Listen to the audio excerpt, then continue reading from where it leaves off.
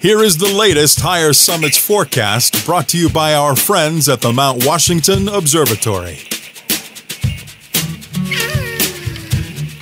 Weather above treeline in the White Mountains is often wildly different than at our trailheads.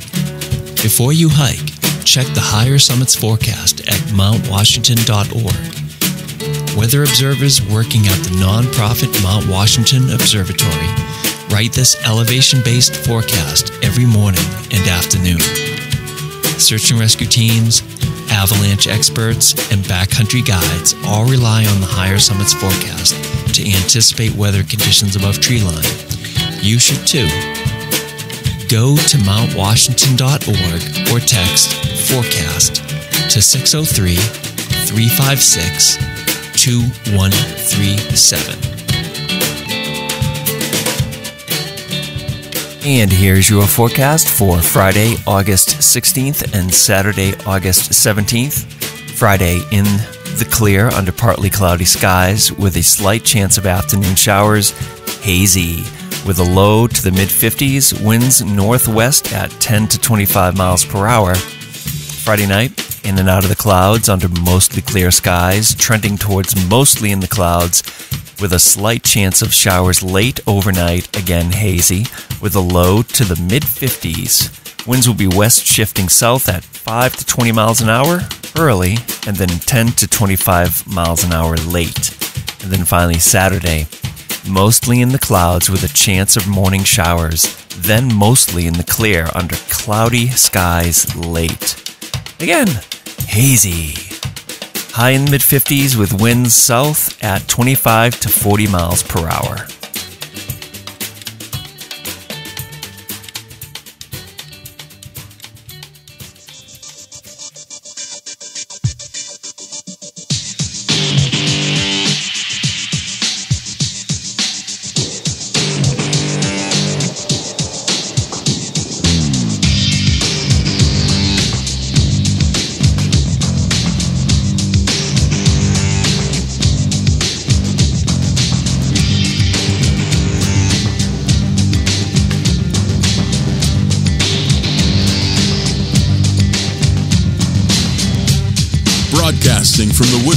Studio in the great state of New Hampshire.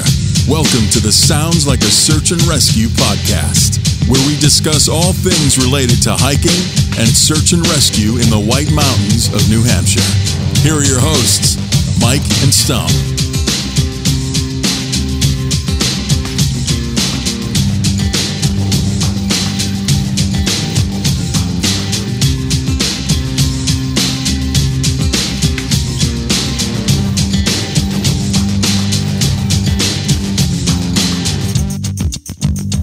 All right, Stomp, we are live for episode 164. Are you are you ready? Yeah, I'm ready, man. 164. Let's do it. Yeah, yeah. You're in a like a sweatshirt, so I'm assuming it's not that not that hot up there. yeah, it almost feels like we're getting an early fall.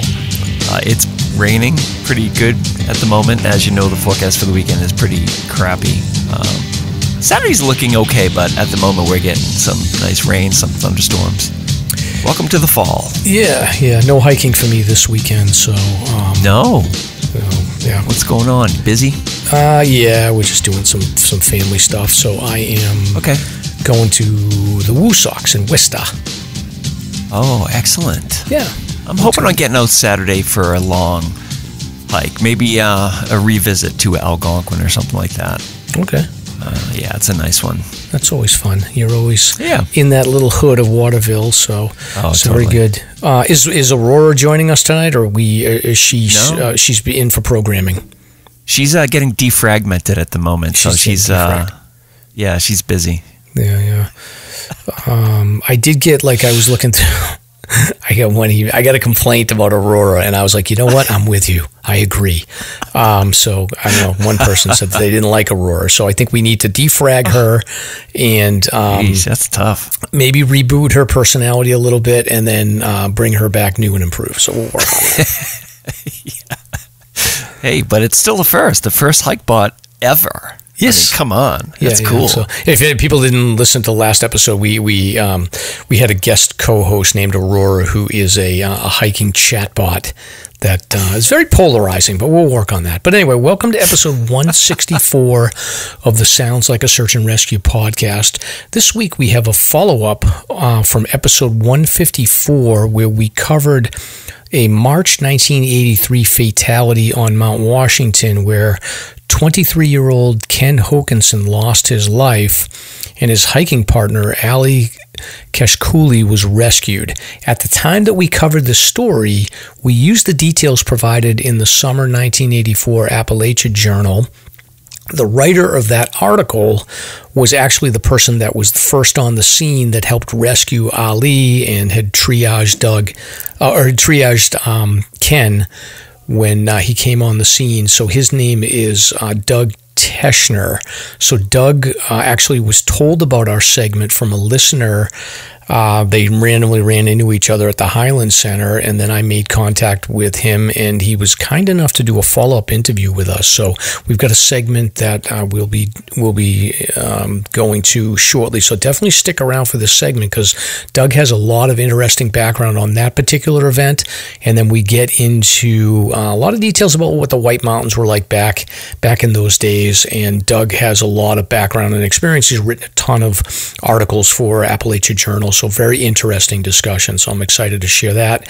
And then later in the show, uh, our friends Scott and Addie sit down to talk about the Loon Echo Land Trust, which is sort of in my neck of the woods where I like to hang out in Western Maine, the Lakes region.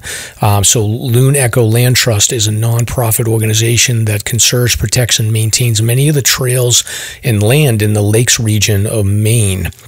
So Scott and Addie are overseeing a trail race series that we talked about previously to help support the trust. So we'll talk to them about those races. We'll learn a little bit about Loon Echo hiking areas and uh, talk some trail running in the whites.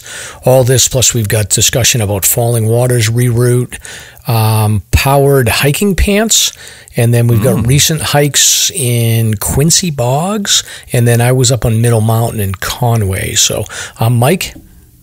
And I'm Stomp. Let's get started, y'all.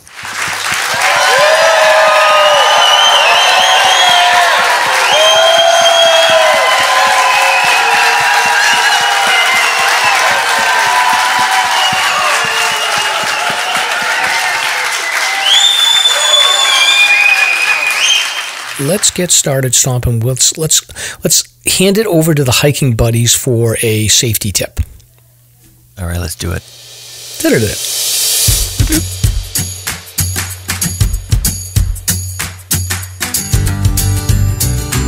This is Ben Pease from Hiking Buddies. We are a 501c3 nonprofit committed to reducing avoidable tragedies through education, impactful projects, and fostering a community of support. You can find out more at hikingbuddies.org. We wanted to say thank you to those who have supported our mission, and most importantly, say thanks to those who speak up, who ask questions, and who are willing to provide guidance and assistance on the trails when needed. You embody what it means to be a hiking buddy. And now, for all my newer hikers out there, here's this episode's Hiking Buddies Quick Tip. Never leave any buddy behind alone. Keep people in buddy groups. Wherever possible, check on your hiking buddies. Wait at trail junctions, roads, summits, and huts. Choose a buddy to be the sweet buddy, the last buddy in the group, and want to be the turnback buddy in the event that one of your buddies needs to bail. Brought to you by Hiking Buddies.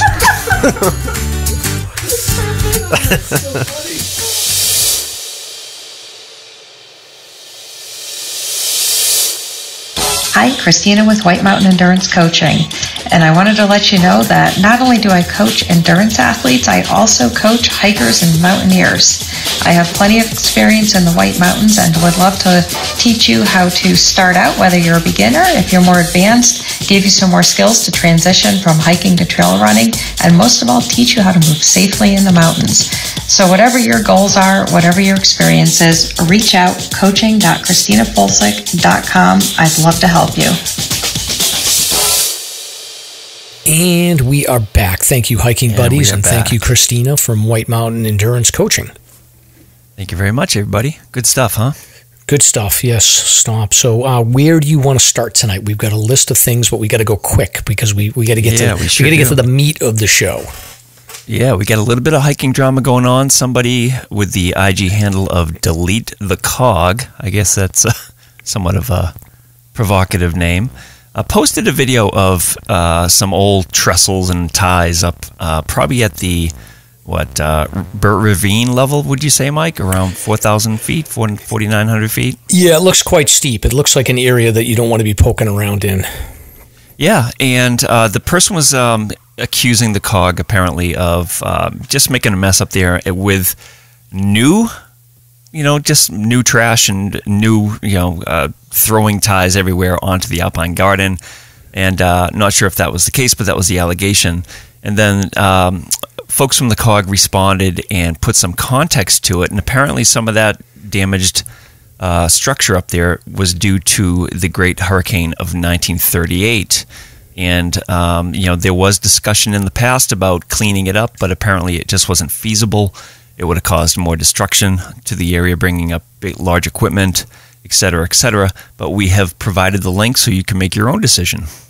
Check it out. And I think that there's rules about, I had to look it up, but I feel like there's rules in wilderness sections about uh, artifacts that you're not supposed to touch after a certain amount of time. So it could be that they, they fall under that. Um, you know, it looks, it doesn't look great, but it's also like, I feel like the, uh, my understanding is, is that they've cleaned up a lot of those areas.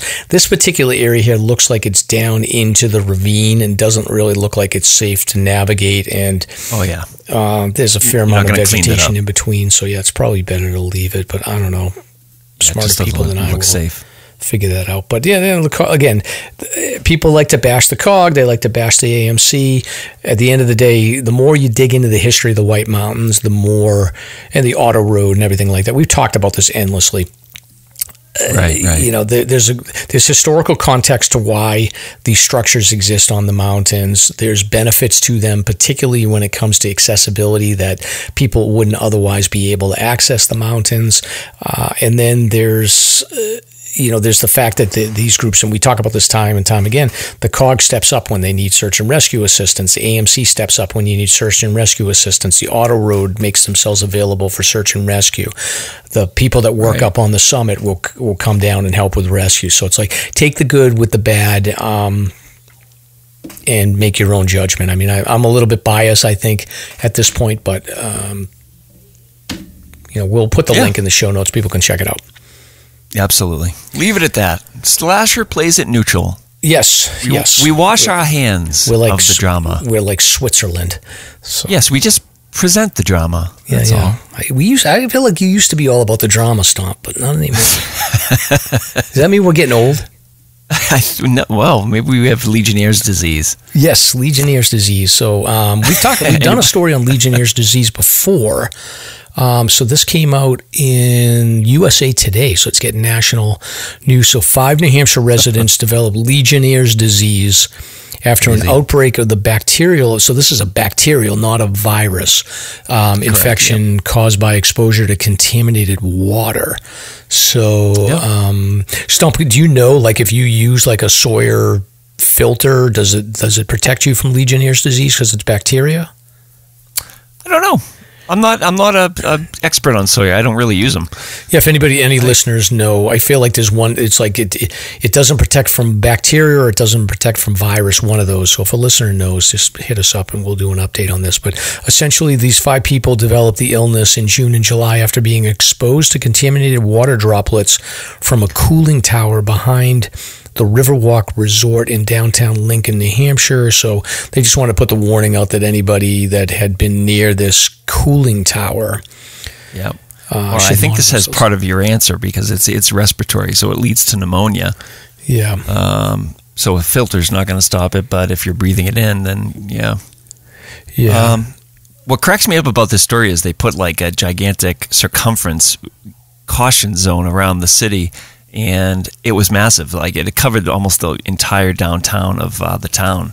It's pretty wild. I don't know what what's going on with it at the moment, but it was part of that new River Run, um, River Walk, excuse me, resort that they built, and the tower was used to f- provide water to that whole building. So I, it's probably cleaned up by now, but interesting story. Yeah, yeah. So um, be careful. Yeah, I learned about that stuff way back in PT school. Like to Yeah. hear about it now is like, damn. Yeah, and then um, the the friendly, the over over friendly beers in um, Lincoln Woods continue to um, make the news here. So this latest is our friend uh, John Huck, who listens to the show, sent over a CBS article that says that uh, there's beers in that Lincoln Woods area, they're no longer afraid of humans and they've been trailing campers as they search for food in the White Mountains. So the Forest Service put out a statement that it's received reports nearly every day about food conditioned bears that are interacting with hikers, campers, and their dogs um, around Lincoln. So They've become uh, habituated to humans and are following campers and begging for food. So my guess is probably, and I got a feeling like anybody that's listening to this show knows the deal. You don't feed them, but my guess is that like you know car campers and, and people that are just up here once a year or something like that are probably maybe inadvertently feeding some of these fellas and causing some issues. So um, they've been destroying tents, backpacks as they look for easy meals. As the thing about if you're in Lincoln Woods, like I know it's easy to sort of like okay, let's drop our backpack and step off and uh, do whatever you got to do if you if nature calls or whatever reason. But I think you just be careful if you leave your backpack sitting around. I, I, I, there's bears in the woods. Yeah, I hadn't, hadn't thought of that. Um, but there's a lot of buzz about this bear out there at the moment. Just the other day, we had the uh, the team picnic and stuff. Everybody was talking about it.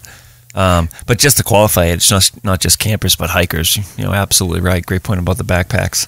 Yeah, yeah. I mean, Lincoln Woods, Bond Cliff, Franconia Brook, Lincoln Brook, Black Pond, uh, Liberty Springs, uh, 13 Falls tent site, all that area there. He's coming up and down Osseo.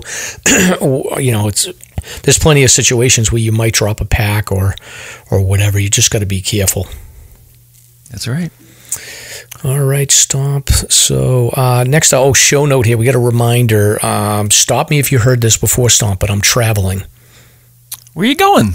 Um, I got to go drop my kids off at school. So Ah, there you go. Yeah, tis the season. Yeah, yeah, we're empty nesting now. So my my, Yeah. my baby is going off to college, but that means that there's no show next week. So Oh, we are uh, we're going to skip this week, and then we'll be back. Oh, we're going to skip skip next week, and then we'll be back with the show on August 30th.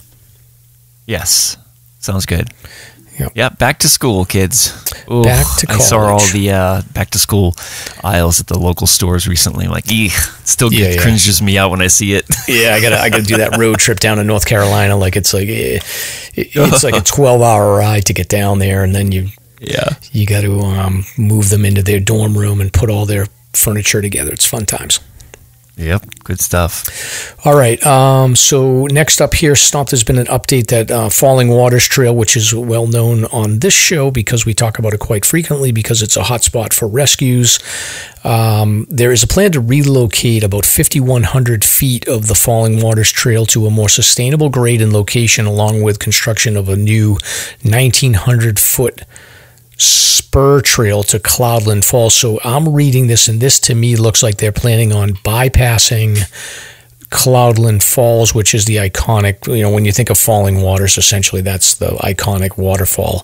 So it sounds like they're going to reroute, reroute away from that area, probably avoiding that sort of steep climb to the left of Cloudland Falls and go to a better area. But then they're going to add a loop trail that brings you out to Cloudland Falls so that you can you can still enjoy it. Is that is that what I'm reading here? The implementation date looks like it's uh, sometime in April of 2025, and it's just in the early uh, reconnaissance phases now. But that's great news. I, I think it's a great idea. That trail is a mess for that that mile stretch. Um, and dangerous. So having spurs out to those locations sounds like a really great alternative. Yeah, yeah. Even like the the last five years or so, like that that section where you approach Cloudland Falls has just gotten more and more worn down, and it's just too steep and too slippery. I'm assuming that a fair amount of you can manage it, but um, a fair amount of people probably that's where they slip and fall and injure themselves.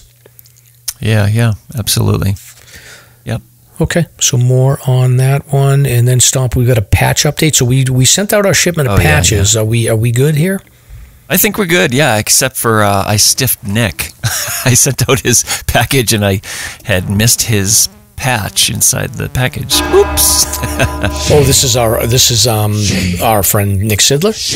That's right. Yeah, he's all set now. But uh, sorry, Nick. Sorry about that. But I'm sure I'll be hiking with him at some point soon, so I can I, I can give him one too if we need to. But uh, very good. Are we, are we going to open up orders, or we where we do we run out? Yeah, no.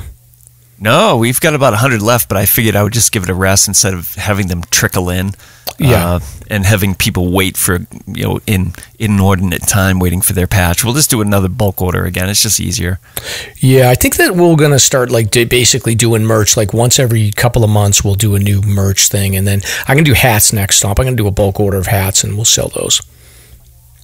Okay, that sounds great. Um, I think I think the bonfire does hats. We should look into that, but uh, Sounds great. Yep. Um, all right. So this next update I have here is uh, back in September of 2021, there was a fatality on Baldface uh, Mountain. This is on South Baldface. This was a group trip from um, Lakes Region High School in Maine, and there was a group of I don't know 20 to 30 kids and a couple chaperones and they were hiking bald, the South Baldface Mountain, and um, high school student, I don't know, 17 year old kid, I think, had complained to the chaperones and indicated that they weren't feeling well. They didn't want to continue hiking. According to the family, he was pressured into continuing the hike. The, the chaperones didn't uh, ensure that his he had water and you know, according to the family, they didn't feel like this, the the chaperones took his safety seriously. He did end up dying uh, later in the hike, and uh, there was a lawsuit that was filed. Um, the, lawsuit claimed that the, the young man had died of heat stroke, that students and staff weren't properly trained or equipped for the overnight trip, and that uh, the students' access to water was um, was restricted. But um, according to this news story here. The judge has, uh, the family had sued the school district and I think two of the chaperones. And the judge in the case cited a law that gives wide protections to schools and their employees and dismissed the lawsuit. So no word on whether or not they're going to appeal, but um, sad story all around. I mean, I feel bad for everybody in this story. And I think the chaperones that were involved here having to live with this for the rest of their lives is, is a pretty serious punishment. But I understand the family looking for justice to ensure that something like this doesn't ever happen again. But there's just no there's no way you, no one's ever going to be a winner in this one. That's right. Yep. Hopefully, it wouldn't happen again. I mean, at the very least, that's the whole idea with the justice system. Yes. Yep. But, um, okay, Stomp. And then next up here, we we got a quick article sent to us from the Daily Mail. So the Daily Mail's mixed bag. Some people call it a crappy rag, and a lot of times I find that the Daily Mail actually is pretty good, and they do dig in and get the real story. So I'm I'm more positive on the Daily Mail than maybe some other people are. But anyway, this one here is an article that talks about Gen Z hikers are blamed for record number of avoidable callouts by mountain rescue teams as Instagram obsessed hikers rush to dangerous beauty spots for selfies. Makes sense. So yeah, so this is um, a story out of um, where is this located? They call this Lakes District Search and Mountain Rescue Association has received 7% more 999 calls. So I think that's in uh, the UK, with many coming from 18 to 30 year olds. And mm-hmm. right. um, volunteers from the search and rescue are blaming social media because they're saying that these pretty spots are going viral and inexperienced hikers are trying to tackle these peaks and they don't have the skills to climb. Yeah, I think you're right about it being England. I was curious if it matched up with some of your data that you've plucked over the years. Yeah, I looked up. Hard to say. Uh, no, I can. Oh, I can say it's not hard, Stomp. Um, I think that it's it's more correct than uh, incorrect at this point. So when I I pull this data and I'm pulling it up as I'm talking to you, Mister Stomp, and I have a couple of graphs that I can share in the the notes. And what I do is um, I assess each case and I, I basically make a call to say whether or not the person was negligent or not negligent. And I think in cases where they don't have headlamps and they get caught outside, like that's an automatic negligent. Um, and then I have this graph that's broken down by age. And I would say for the the negligent, the biggest category by far in the last five years, there's been 70 cases of 20 to 29 year olds where I have indicated that they had um, negligent calls on them. And then if you look at all every other category from 30 to 39, 40 to 49, so on, the 20 to 29 year olds have more negligent calls than the rest of the age categories combined. And that's New England, or is that? That's just New Hampshire. So New it Hampshire, matches period. up. Yeah. So it matches up. The thing I will say is that um, I don't think that there's malice in a lot of these. I think it's more um, edu- lack of education. You know, not having a headlamp or. You know, you get some of those cases like the two young men that got caught up by the watcher in that area there that are just completely reckless. But um, yeah, I think young people just like they. The other thing I've noticed about young people is that many of the like the group scenarios where you've got like seven people hiking and they went completely off trail and got lost. Um, like the, there was like one group that got lost near like the Rainbow Trail near Wildcat, and there was another group that went off trail in Chocorua in really bad weather. What I found is that the deadly combination is young, large groups of young people hiking together in bad conditions. There's been probably like five or six incidents of groups of young people over the last five years that have gotten trouble like that. Okay. Yeah, this article may be slightly weighted uh, pro uh, this group being the problem because it's a popular place for younger adolescents, and in particular during Easter break, they climb this mountain, and they've had like in 2024 they've had 418 emergency calls. 22,000 hours of rescue time. And if you look at the pictures, there's hundred. It's like a monadnock. There's like hundreds of kids on top of this peak. Uh, so that might impact the data there, but interesting.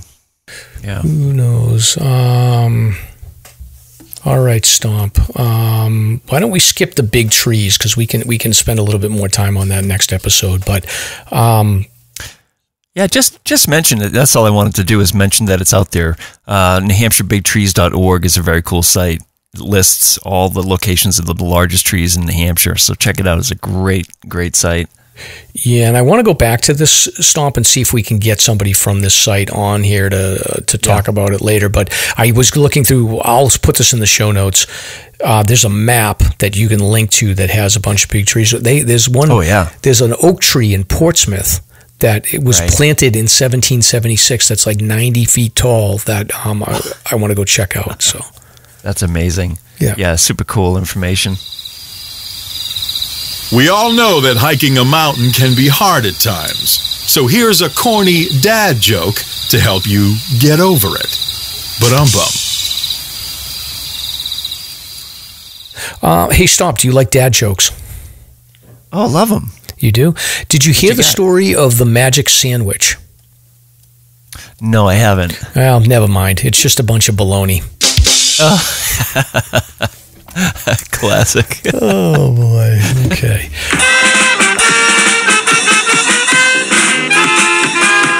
Are you ready for Slasher's Beer Review?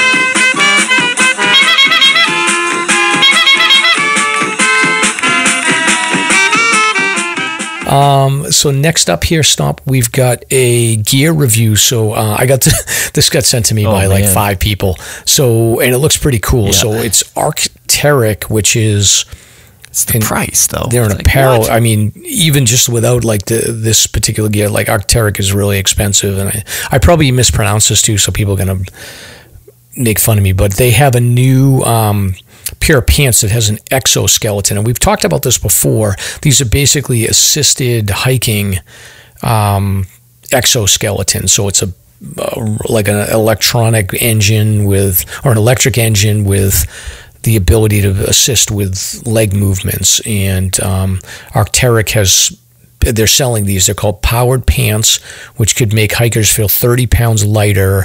And the, they're typical hiking pants, but then on the outside they have like these. It looks like carbon fiber with an engine around the knee that pivots. So pretty cool. Yeah. Oh, they are powered. Interesting. Yes, So they're like an e-bike, or so it's assisted motion. correct. Yeah. Wow. So we're heading towards the Avatar robots We are. gradually. Very cool. Very cool. Yep, Iron Sounds Man. good to me. Yeah. Right. Yeah. Wow. Um, and then next up, I wanted to give a shout out to Will Robinson. Do you know this guy? I've seen this guy's name around before. Um, it doesn't ring a bell. All right. So Will Robinson, he had posted on the 4,000 footer group that he established a new fastest known time for his north for the Northeast 115, and uh, he did this in 19 days, 15 hours, 43 minutes, and 10 seconds. So he, what he did is he did the Northeast 115, so all the 4,000 footers in the Northeast, and he was able to do them in just under 20 days. And um, it's a lot of hiking and a lot of driving, and he's got a lot of details on this post that I will share where. Um, He's got the breakdown of all of his days, what his strategy was. Uh, it's really helpful. He, I appreciate it. He gives basically the whole strategy for how to do this. So I thought it was pretty cool. Uh, and essentially, he's doing this self supported uh, and driving to the trailhead. So he would chunk it up, and it looks like he started in Maine for his first. So he did Baxter and Hamlin and then he made his way south to North Brother, Avery, Bigelow. So you can sort of see his strategy, which is pretty helpful. So I'll I'll include this in the show notes. And congratulations, Will. That's awesome. Yeah. Congrats. What's the uh, fastest known time for the Direttissima? How long does that typically take? That I gotta the take a look. I feel like that's floating somewhere around like four and a half, five days at this point. But I got to take a Is look. it? Yeah. Yeah, Okay. I'll have to take a look. I'm not sure. All right. Um, Yeah. All right, stop. Uh, that was the time of the show where we do a sponsor. All right, and this is the final plug for 48 Peaks for the season. It was a great run for them this year. So use your passion for hiking to help end Alzheimer's. In one collective effort, 400 plus hikers will climb New Hampshire's 4,000 footers or create their own hiking challenge to advance the care, support, and research efforts of the Alzheimer's Association.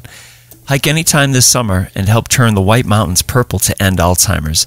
No fundraising minimums required, but you can unlock fun prizes as you fundraise. So visit alz.org right slash 48 peaks to learn more. Okay, stop. And while you were doing that, I was uh, looking up in the Google machine here the fastest known time for the Direttissima. Yeah. And I'm showing. Arlette did that too, right? I think she's should be in there somewhere. I think she's in there somewhere, but it looks like the standard Direttissima is three hour, three days, five hours, and three minutes. So okay. Okay, that's right. that's the standard route, which I can't remember what that looks like. And then there's a self-powered, which I think is carrying everything on your own, and that is um, Will Peterson in five days. And then Andrew Drummond, our friend Andrew, he's got the supported Deratissimo. So, um, Right. yeah, good times. All right. So that puts some context to that 115 finish. Uh, how impressive that is. Yeah, I mean, you couldn't do that without um, without driving, but yeah, it's it's pretty pretty impressive. Um, It's wild. all right, stop now. Uh, you want to tell people how they can get their their swag, their their slasher yeah, swag? let's do it. Yeah, we can uh, talk about the, the hoodies because uh, it is the season. I'm wearing my sweatshirt tonight. Uh, but you can get those really cool slasher hoodies up on the bonfire shop, and you just got to go to the Instagram link tree to find the link to it. Uh, check them out.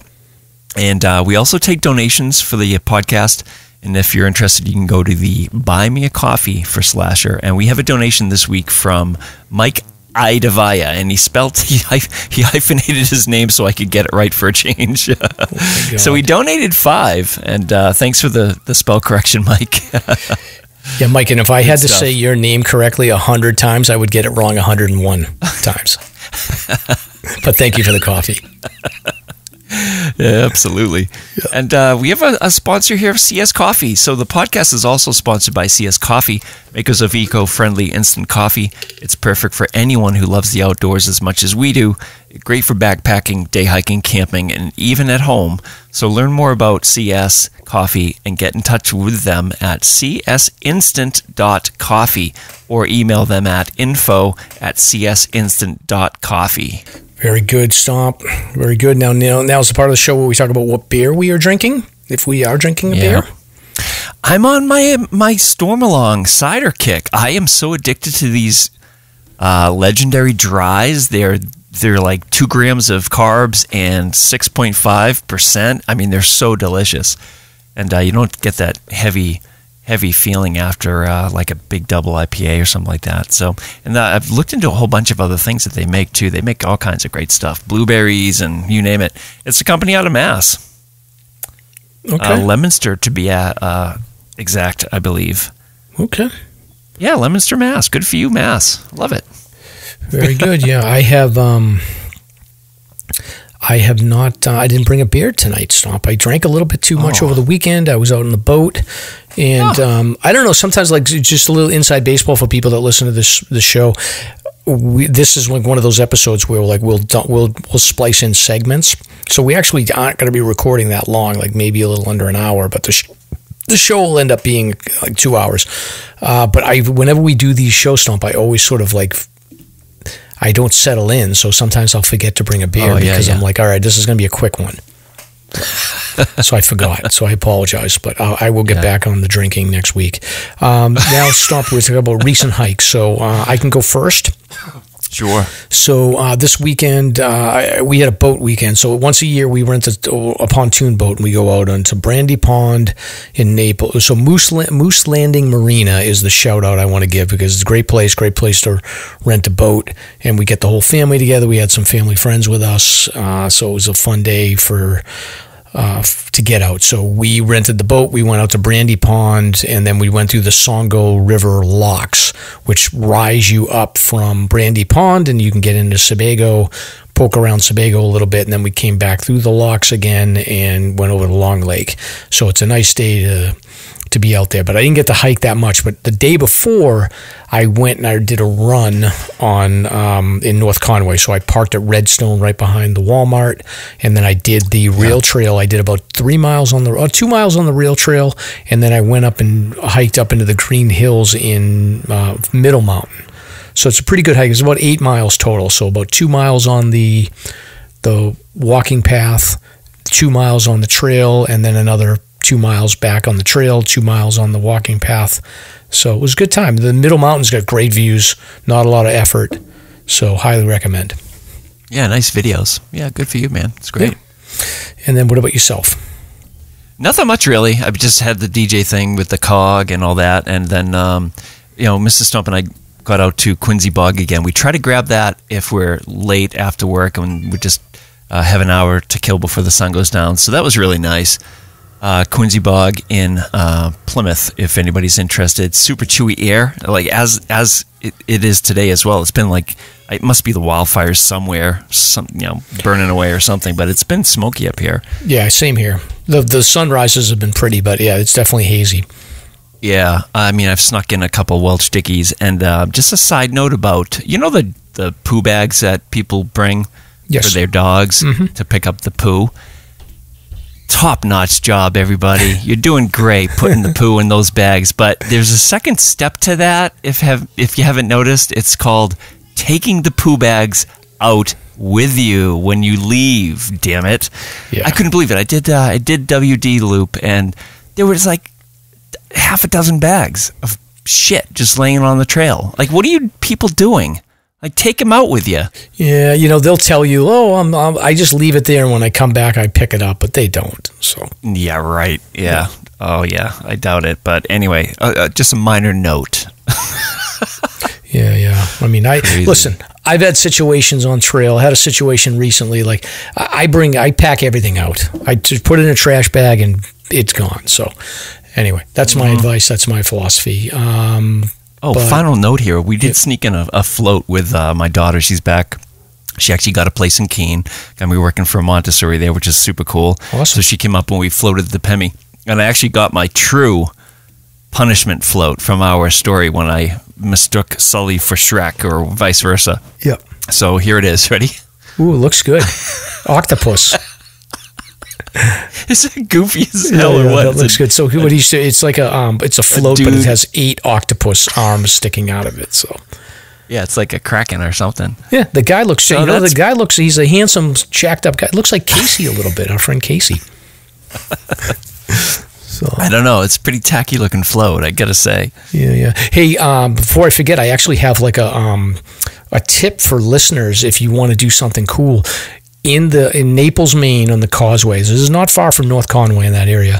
If you want a fun night out, there's a um, a boat called the Songo River Queen. Which is a mm-hmm. paddle boat, and we've been going over the causeway like every weekend. We go out there for you know drinks or pizza or whatever, and we watch the people. And every week, every night, like Saturday night, Friday night, the Songo River Queen goes out, and they have different theme nights. So it's like a lot of ladies that are dressed up like in 1980s clothes, a lot of neon clothes. They have an 80s theme night. They had a 70s theme night. They had a country night. So if you're looking for something fun to do when you're up up in like the Lakes region of Maine, the Songo River Queen. I'll, I'll put in a, a link to the show notes to check it out. But it looks like a fun night. They have a DJ. They blast music, uh, and Well, everybody's partying and drinking. How big of a boat? Oh, they could probably fit three, four hundred people on this thing. So it's like a Mount Washington? It's exactly like that. It's the exact same thing. Okay. It's a Mount Washington Yeah. paddle boat.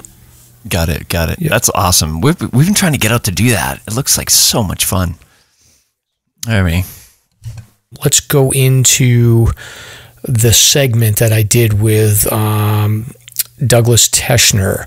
So um, you remember talking about the the rescue in episode 154 from 1983 we got a lot of details. So if you're if Right. you, if you didn't listen to episode 154 it may be worth it for you to go back and check out that segment.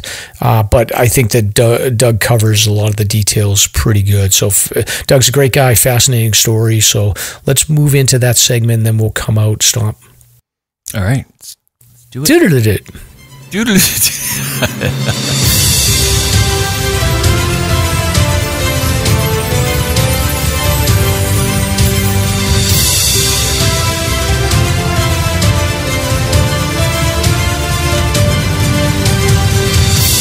It's time for Slasher's Guest of the Week. Very cool. Very cool.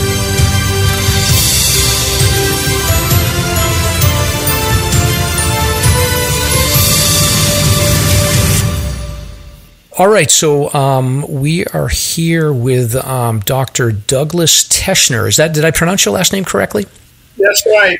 That's Yeah. right. I don't emphasize the doctor usually, but it is true. I do have a doctorate of education. Hey, you know, you, you made it. And Doug is perfectly good. You know, we don't need the Yeah, Douglas. yeah, yeah, no problem. So, uh, D- Doug, thanks for joining us. So, um, for the listeners, just as a reminder, I had done a segment on a um, a fatality and then also a, a rescue on Mount Washington um, that went back to uh, March 24th, 1983, which is my birthday. Um, well, I'm 72, but March 24th is my birthday. And um, Doug was involved, intimately involved in that search. And he had also, the reason I was able to actually research it and get all the information is Doug was the person that had organized the article that was in the summer 1984 edition of Appalachia. And, um, you know, this, we'll go into the story in more detail, but essentially there was a fatality, a slip um, and a fall from Mount Washington down into the Alpine Garden area. And um, Doug had come upon um, the body of a young man that had passed away, and then his hiking partner later on, and had been involved in uh, the rescue operation to um, save this this young man who had survived, and then also to work to uh, to get uh, the body of um, Ken Hokenson off of the mountain. So I definitely want to talk to you about that, Doug, and we can talk a little bit about how we got connected. Um, but I guess maybe just to start off with. Um, if you could just introduce yourself and give a little bit of a brief background of your um, your your your, your um, your, your your life and a little bit about your sort of hiking and, and climbing background.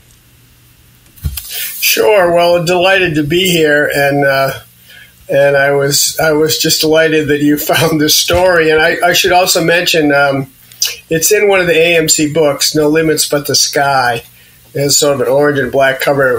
It was reprinted. Okay. So you don't have to find it. if you want the story, you don't have to go back to the 1984 Appalachia. You can find it a little more, Yep. in a little more modern uh, setting. Oh, I'm, I'm trying to remember how long ago that book was published. Um, but uh, yeah, I grew up in uh, Westboro, Massachusetts, and um, my, when I was young, my my parents sent me to summer camp. My parents weren't hikers; no, they didn't take me hiking. Yeah. But at summer camp, I got the bug, uh, and it was a YMCA uh, camp. In, in, uh, based out of Worcester, Mass, and uh, I went to the White Mountains, and I was, uh, the, ironically, I was very nervous about going, moving up to these older kids who had, uh, who did these big mountain adventures. I'd been going to that camp since I was ten, and at thirteen, I, I was moving up with the kids that did these trips, and I was nervous about it. In fact, I told my parents I wanted to stay back with the younger kids. Yeah. And uh, when we got out to camp, my father sort of disappeared, and he came back and he found me and he said, "Doug, you need to go with those older kids." And ironically, uh, my father was killed in a car accident the next year. But I was, I did write an Appalachia. I've been involved with the AMC and the Appalachia Journal for many, many years, and I. I wrote a story called "The Father's Last Gift" about my father and how he, he convinced me to go. You never know what events in your life are going to shape your life, and uh, through that summer camp experience, it was so influential in, in my life. And um, so when I started getting into hiking, uh, I didn't have any family members, and I found about the one of my counselors told me about the Worcester, about the AMC and Worcester chapter, and and that's uh, how I, I started going on hikes with them. We helped build. I helped with the first trail up Hancock, North Hancock. You usually have to take a slide. I mean, this is going back to the '60s now. I mean, Oh, I'm, wow. I'm getting kind of old. I'm, I'm 74 years old. I'm I'm still moving. I was up on Mount Washington yesterday. I'm proud to say. I, Yeah, you you my- said I that. Roles with. Uh, I sort of have two roles right now with AMC. One is I'm on the journal committee, the Appalachian Journal, and uh, in the newest edition, I just wrote. I found out my, my wife and I had recently moved, and I found out my neighbor was a world a wildlife biologist, a renowned wildlife biologist named George Schaller, and I interviewed him, and that it's in the current issue of, the- of the Appalachia Journal. Uh, but I'm also um, do uh, I, I do hut naturalist, so I go up and give na- uh, nature talks at the huts, which I enjoy doing because through through my connections with Worcester chapter, and I was getting into hiking. I, I and I did work in the huts three summers, starting in 1968. I tell a joke at the huts. I say I was working way back the year of the moon landing and Woodstock. And I asked people, what year was that? And, and I just did it the other night at Lake of the Clouds Hut. And people always seem to know that was 1969. Yeah. So that's how, that's how far back uh, I'm kind of showing my age. So Oh, did yeah. you when you were you were doing the camp work with AMC? So you you were basically able to connect with the the camp connection and then working directly for AMC after you got a little bit older. Well, the camp was not directed with, to AMC. The camp just took me to the White Mountains. Oh, got it. And one of my counselors, and I said I wanted to keep hiking, you know, during the school year. And one of my counselors, a guy named Brian Fowler, uh, who's kind of well known for some of the work he did on studying the Old Man of the Mountains. And the, if you see the diagrams of the fall, how the Old Man of the Mountain fell in 2003, Brian is the one who did that work. Okay. But Brian had told he told me about the Worcester AMC, and I made connections, started going on hikes with the AMC and uh, and then Brian himself had worked at, at, the Lake of the Clouds hut, and I went up to visit him, and I think it was 1967 when I was a, a camp counselor at that point, and I said, "Wow, this looks pretty good." And I, I, I eventually I managed to work in the huts. I, I worked two summers. I worked 1968 and 1970 at Zealand Falls, my favorite hut, and 1969, like I mentioned, I, the Mizpah the moon landing. I worked at Mizpah hut. So that's how I uh, sort of got into hiking and get into the mount, got the mountain buzz, I guess you would say. Yeah, yeah, and we're going to get into some of that stuff in the late '60s that you uh, you were involved in. But I think just to just to get the listeners up to speed. So essentially, like I I came to know about you based on the article in the summer '84 Appalachia, the story of the rescue from 1983. Um, so we did that segment, and then uh, you know we have a, a decent number of listeners, and you know lo and behold, like one of our listeners, gentleman by the name of Christopher Haley, and you, Doug, you have to fill me in because I, I, was exchanging messages with Christopher, but maybe I missed part of the story. But my understanding is is that you came into the Highland Center. Christopher was in there with with a crew of people and um, you know somehow the, the topic of the 1983 rescue came up. You start telling the story christopher's like wait a minute. I literally just heard this story on the slasher podcast and he must have told you like you, you must have been like wow i can't believe anybody actually like would have remembered that. Well that's pretty much it and it was a connection I had uh, it, there was a guy named he was Chris was with a guy named Joe Massery who was the had been very active in the Worcester AMC. I hadn't seen Joe in years, but I have. Yeah, I was at Highland Center helping out with some training for some of these volunteer naturalists and volunteers for the AMC. Joe saw me, he recognized me, and we got talking. And I, I, uh, back in I think it was 2017, I had gone back to the Worcester AMC for their annual meeting and gave a talk and I really emphasized how, how much they had shaped my life in being involved with that group when I was in high school. And and so I said to Joe, "Well, I'd be happy to come down again. I've got another story I could tell you that I, that'd be very different, but I think would be interesting." And Chris was with him. In fact, Chris was was part of the training to become a volunteer naturalist. I had never met him before, yeah. and he recognized the story. And I, I have to say, I was flabbergasted. He gave me the account. I listened to it, and I thought, wow, this guy Mike, he put a lot of effort into getting to know that story, and and uh, so that's how we connected. Yeah, yeah. So I, I uh, you know, it's a small world. I guess it's fate that we, we came together, which is great. But I, I read the story. I mean, I, I my father-in-law has a place up in Brownfield, Maine, um, right on a little pond, and I sat in my hammock and read the story a couple times, and I was like, this is I, the, and we'll get into it, sort of like the that day in your life. I, my sense is that that that's a very impactful day in your life, and we'll get into the details. But I just sort of I tried to put myself into your shoes to see, you know, okay, how would I react in this situation? And I have some questions for you for sure. But before we get into the incident in 1983, prior to that, in the late 60s, you had been involved in another rescue, and you talk about this in the story in Appalachia that this this incident. So there's an article in, um, I think the the the 70s somewhere in Appalachia, but it's called "Accident and Rescue at Odell Gully." You were involved, and this was in Huntington Ravine as an 18 year old. You were part of a rescue team. So, can you just briefly talk about like what happened there? Well, you know, when I first started, um, my first time in, in 1967, after Brian Fowler told me about the huts, I had reached out, and I and actually that year I ended up when camp closed. I came up and I helped with what they call the closing crew. The huts used to close on Labor Day. I mean, it was a lot different. The mountains were a lot different back then than they oh, are yeah. today. And they shut on Labor Day. We shut the huts down at every hut. Well, no, I guess Mizpah stayed open until uh, until uh, Columbus Day weekend. That was kind of a that was the only one. And I'd helped out on the closing crew, and then I sort of started taking interest. Next summer, I was a freshman at University of Massachusetts. I got involved with the outing club there, which is another story. But um, during my um, I was really enamored with it, with working for the AMC, and during my college breaks, I would uh, I would come up and work room and board at Pinkham Notch, uh, and you know just being part of it and being in the mountains to me was so spectacular.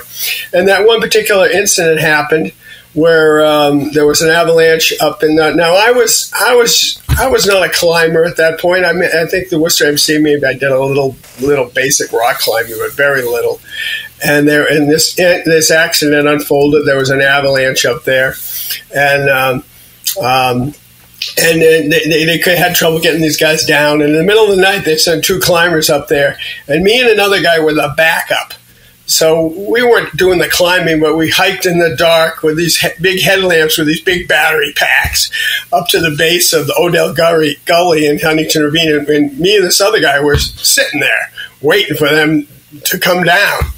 And the two guys went up ice climbed up and they got the victim and they were and, and the other guy who was with me ended up leaving. He got cold. And i was sitting there and there was a somebody previously had brought up a uh, a uh, you know a rescue sled that were sitting next to me, and, and, and, and we were up there in the middle of the night. But then the, the, the you know the uh, sun rose, and uh, oh, I looked up, and this, they were bringing they were rappelling down with this uh, with a victim, and the guy said to me, "Bring that sled over here," and I took the sled. And I went over next to where he was coming down. I put an ice axe in the snow my ice axe. I had an ice axe, even though if I didn't know what, maybe I didn't know how to use it, but I had one. and in my ignorance, I wrapped the rope around this ice axe, but without a knot, thinking, oh, there'll be plenty of friction. And this sled just took off like a shot down the mountain. And fortunately, it didn't hit anybody because there were other people coming up at that point. And fortunately, you know, some of the people coming up got it, brought it back up. I mean, it didn't have any bearing on the rescue, as it turned out, but it, it was kind of mortifying that I was uh, I had done that, and it and it showed a level of inexperience. Um, and so th- when I when I when the, when the incident happened in '83, that was 15 years later, and I had done a lot. I had done a lot of things between 1968 and '83. I really uh, did a lot of rock climbing and ice climbing. And in, uh, when I graduated uh, from college at University of Massachusetts, I was in the Peace Corps in Morocco, and I, I spent time uh, on my vacations up in the high Atlas Mountains. And there was another Peace Corps volunteer who, who was from uh, Seattle area. He climbed in the Alps. He knew glaciers and we actually uh, took a boat across to Spain and a train. And we went to Chamonix, France, and we climbed Mont Blanc up the glacier, which was, uh, you know, wow. And then we did a traverse of uh, Monte Rosa mountain from Italy into Switzerland that I had cooked up that idea from Miriam Underhill's book. Uh, if you've ever seen that, it's uh, "Give Me the Hills." Uh, we we barely had a map. It was pretty funny, but in retrospect. But um, you know, after that, I started getting pretty serious about mountaineering, climbing, and I had done a lot of you know, pretty big mountains by you know by uh, really the late seventies. we were back in the Alps. I climbed the Matterhorn. I in '76 we went to McKinley. me, and my friends organized a trip up to Mount McKinley, and and uh, I, had, I had climbed a number of mountains in Africa and Europe and all across North America. I had climbed the Tetons, and so um, you know I, I think I would say this that you know the experience uh, when, as I reflected on what happened in '83, I was looking back and saying, you know, this is the experience that I had had gained. And so when, when the events happened in '83, I kind of knew what to do, which I obviously didn't know in '68. Yeah, can like you? The intent wasn't good, but uh, uh, so that I think I think that answers your question. Yeah, yeah. And can you talk about like in the early '80s? Can you describe for the listeners what was the search and rescue? Infrastructure yeah. at that time. I know, I think Mountain Rescue Services was getting stood up right around that time with Rick Wilcox, but otherwise, what, what was it like for search and rescue? Well, you know, there was a lot less people in the mountains. You know, it, really started taking off in the 70s. But um, for instance, that day that I was up, it was a midweek day in the in on the 24th of March. I, I had seen one or two people the whole day up until I came on this accident. Um, you know, that would be very different today. I mean, there's so many more people in the mountains today. Also, yes, the Mountain Rescue Service was was getting organized, but you didn't have like the PEMI. You didn't have the big volunteer rescues group, groups like the PEMI. I'm not sure what year they started. Uh, and another one up the Androscoggin up in Gorham. Um, and there were a lot less rescues. I mean, because there were just a lot less people in the mountains. So, um, Ironically, though, um, there had been uh, the year before in '82 there had been a major incident where a, a rescuer, Albert Dow, had been yes. killed.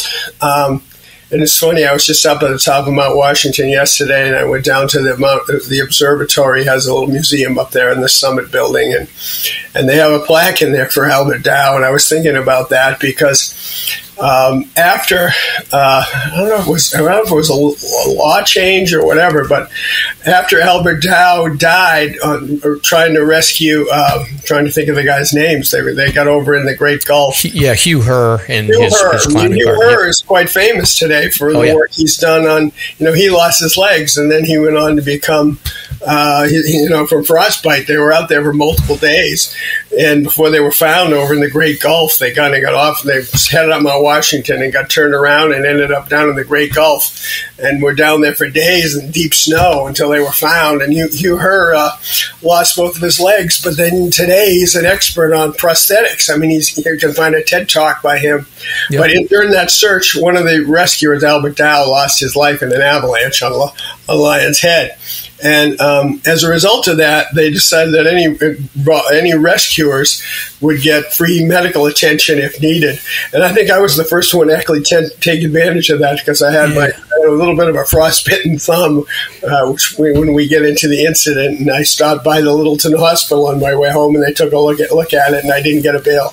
Yeah, yeah, I remember you referenced that in the uh, in in the story uh, about the fact that you know you were kind of somebody I think had mentioned and you or had given you the assurance that like, hey, you're going to be covered if anything happens. So, so that's good. And then um, as far as that, um, oh, so before we get into the the details of the event, the other thing is with with Appalachia during the '70s, were you continuing to write, and you had the relationship with with the AMC in Appalachia? Yeah, no, I was writing by that point. So when when the um, you know after this rescue, I, I, said this would make a good story, and I, I today I, consider it. Um, I think I have more other.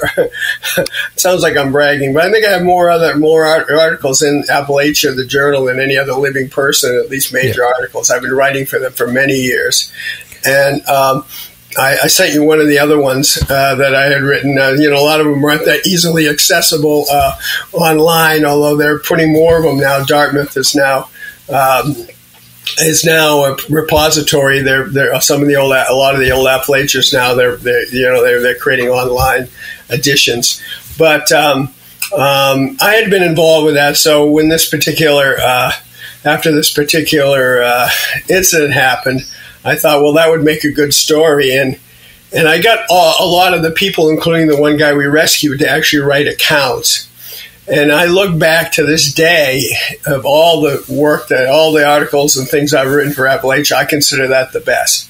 I think it was the best to me. Well, of course, it was a good story, but I think it was the fact that I got so many voices in, involved, and I, I managed to. I sort of, you know, I was one of the voices, but I also sort of edited together, so it was kind of, you know, logical and it, it read well. And you know, I knew we were doing this interview today, so I went and read it again last night and uh, you know, there's a few details in there that that uh, oh yeah, I forgot about that, and but it, you know, it came out really well, and I was I'm very proud of that article because I think it's a good story.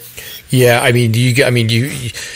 You know, from a from a, uh, a reader's perspective, like it, it gets your hooks in, like literally the first couple of sentences, and like it's just you're not putting that one down. So you you you whatever the mix is to get the reader to stay, you you found it in that that story. Well, thank you. I appreciate that. Yeah. So for the listeners, um, and I think I'll likely um, replay the segment ahead of our discussion, so hopefully people have l- l- listened to the, uh, the, the detailed summary. But essentially, you've got two friends, uh, Ken Hokenson and his friend Ali. These were both students at the UMaine and um, you know relatively new friends. They had had some success hiking up at Baxter. They had done the Katahdin in the winter, so they felt sort of confident that like you know the next level here is let's go out and do a, uh, a late winter. Um, hike on Mount Washington. They had grand plans. You know, we all have grand plans, Doug, and you know the mountain doesn't care what our plans are. So they run into you know some not great weather. That period there. Apparently, there was like a, a warming and then a freezing rain, and it just created like a really icy um, effect on the summit, and you you yourself had kind of gone back and forth on which day you were going to go climbing. So you had plans to climb up in Huntington. Ali and Ken were over on Lakes of the Clouds hot and uh, trying to decide. They were on like a four or five day overnight. They're trying to decide what their plan is. They ultimately decided to cut their their hike short and go back to Pinkham Notch. They, they decided that they were going to go for the summit of Mount Washington that day. They did get a little bit of uh, a view when they got to the summit at the same time they're they're on the summit, you're climbing up from Huntington. Now you had gone back and forth about weather decisions prior to that as well. Can, can you talk a little bit about like what's the resources? Like you can't go online and just find out the weather report. So what, what are you doing back in like 1983 to figure out what what day is your go day? That's a great question. Yeah. I was I was thinking about the wind. I was more concerned about the wind. Okay. Um, but I think the key, and it was a key part of this event, is they had um, they had rain and then a freeze up, and so the summit of Mount Washington was a sheet of ice. I mean, now I was going ice climbing Huntington Ravine, uh, so I was looking for ice. So that didn't necessarily bother me. Although even coming up, there was a point where I, I thought, "Oh, I should have put stopped and put my crampons on earlier than I did." So I was aware of it, but I was a little more focused on the wind. And usually, when we climb up in Huntington Ravine, we didn't go up to the summit. You would climb up to the top of the ravine and you would hike over, uh, hike across the Alpine Garden Trail and down Lion's Head. That was sort of the traditional way to do it. Yeah. Uh, we weren't that fixated on the summit. So um, I had actually never done a solo climb up there. Uh, my friend couldn't go with me, and I and, I, and you know some of the gullies are, are pretty straightforward by with modern equipment. Even even then, the equipment had really uh, revolutionized in the 70s uh, with ice climbing. It was a lot easier to, there was the, the, rigid crampons and the, the shorter uh, ice axes and whatnot. In the, in, the 60s, when I first did ice climbing with the Worcester AMC, you had to chop steps. Um, but that really changed. It really, Yvon Chouinard really revolutionized ice climbing. When I really got serious about ice climbing, we were already had this front pointing and these some of these other tools. And uh, so to climb up what was the central gully, which is not the same one that I had been involved with. The I, would climbed up there multiple times with ropes, with partners. Um, so I was very familiar with the mountain, and, and, that had all happened since '68. Of course, I told you I had developed myself as a mountaineer, mm-hmm. and uh, so I was pretty confident that going up the central gully by myself would be uh, would be safe and reasonable, uh, which it was and I enjoyed myself. But I got to the top, I was a little concerned about the wind, and I almost crawled up onto the flat. And before I stood up, because they were, you know, they were talking about 50 mile an hour winds, and 50 mile an hour wind is when you start getting knocked down. I mean, you yeah. get about 50 mile an hour winds, and it's very hard to move. Um, you can move in a 50 mile an hour wind, but it's pretty much the limit. Well, I got stood up. The wind wasn't too bad, and I said, "Okay, so now I've accomplished my day, and I'm scooting across the Alpine Garden and down the Lion's Head Winter Trail, which is a different, which is which is different than today's Winter Trail. Yes, um, but that, that's a minor detail. But um, um, but now, as, one one question I do have is um, so a, as you're coming up, Ken and Ali are they hit the summit they're coming down and uh, now I'll I'll just give you my bear I mean I've been on Mount Washington multiple times. I've always come up the Ammonoosuc side because I'm coming up with mm-hmm. friends and it's like it's just it's less stressful you know it's just coming up that way. I and, was there yesterday. Yeah and I I um and I I do go up in this in the spring and the summer and the fall on the on the Pinkham Notch side but um I'm trying to visualize, even in the worst conditions I've been on, and I've been in icy conditions where I've needed crampons coming up the cone from uh, from lakes of the cloud clouds. Um, I still can't visualize how somebody. So essentially, what happened with Ken and Ali is they slipped. They fell about 800 to 1,000 feet down from the summit. I still can't visualize how they would directly fall in those conditions without at least you know having some stoppage on a rock or a boulder or it sounds like the snow was completely filled in and then it just created like a sheet of ice but was that common back then? Because i feel like it's well you have on that side of the mountain i mean if you've, if you've been up like the tuckerman ravine trail yeah. um, to, to the right if you're going up is what they call the southeast snowfield Mm-hmm. And it's uh, it's so it's it's pretty much a snowfield. Now there's occasional rocks stick out, and I've skied that southeast snowfield on occasion, and people do glissade down that snowfield. And I think Ken Hokenson had done it previously, um, but the mistake he made that day was he didn't really anticipate um, these icy. I'm, I'm, a little surprised because he had been up there before. He was experienced, they had come up from the Lake of the Clouds. They should have seen that these icy conditions. Um, that he sort of underestimated what it was going to be like going down that way, as opposed to maybe just just stick to the Tuckerman Ravine Trail. Yeah, yeah. Ironically, two days later, a, a student from was it BU or BU, yeah, BU. BU, there was a BU group student group up there, and somebody slipped. And you know, it's not once you start falling, it's not that easy to stop. Yeah. and, and, you know, you can self arrest and stuff, but it, it, if you don't get it quick, uh, you're flying. And, it, and a BU student died, and it was again because of the same this I you know this this this freeze up after rain had created those conditions, and they they were even on the trail, so it was it wasn't as steep, and there was more you know less likely to happen. But I think that was kind of the mistake that they made, and then maybe they got knocked off their feet by the wind. It wasn't a little it was a little unclear.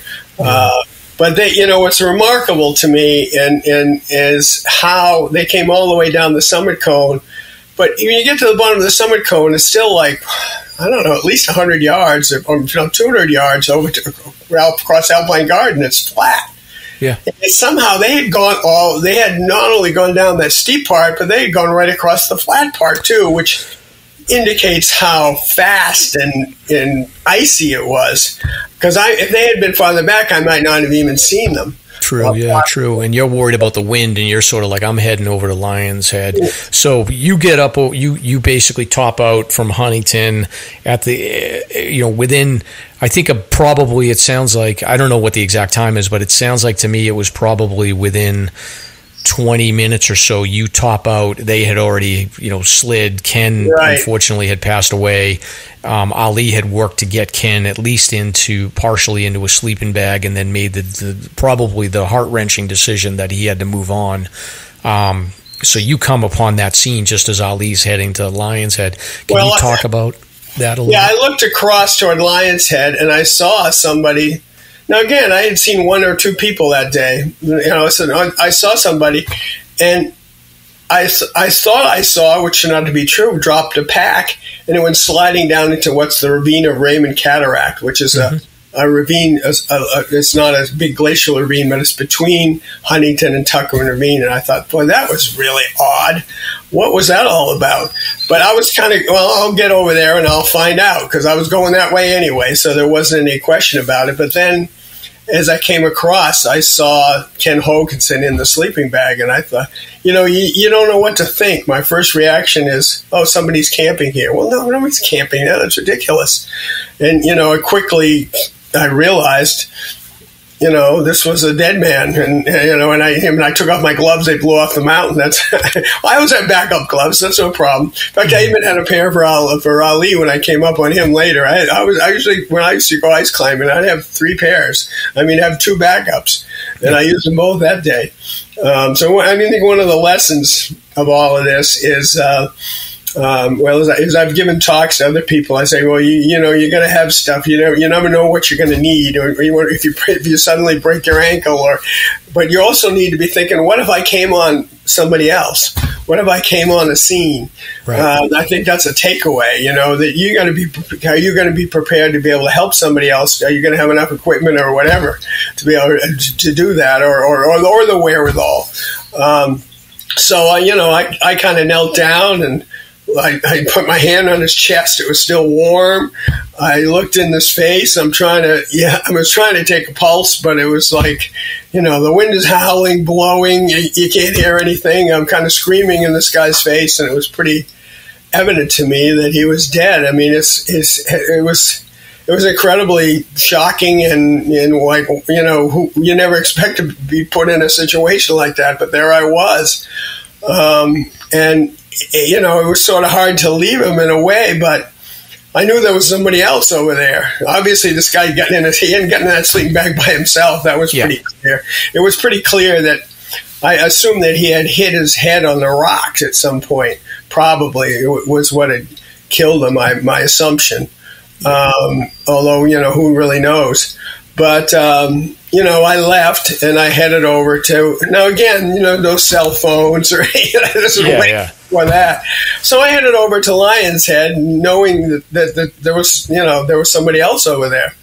And I, as I approached Lion's Head, if you go across the Alpine Garden Trail, you kind of you kind of drop down to Lion's Head. Mm-hmm. So I'm coming up behind this guy, sitting on the rocks at Lion's Head, and I'm thinking, well, what am I going to say? You know, yeah. so I said, well, I, I, said, well, hello, or you know, how are you? Or it was just one of these strange experiences. But this guy turns around and he had he had blood uh, hanging off of his beard. He had lost his gloves and his hands; they were just frozen. He, he they had plenty of clothes but it, you can see how the, he had shred right through like his wind pants and his his wool pants. They didn't have so much fleece back then, yeah. and the long johns, whatever. You could see bare skin on his legs. I mean, it was kind of horrifying. Do you um? And I don't know. There's no way for you to know this with certainty, but do you think like if if you had not come upon him, um, and then you know Tom and Chris obviously helped out. But do you think Ali would have got down on his own, or was he was he close to being done at that point? Well, that's a good question. Maybe those two guys could have got him down. I don't know.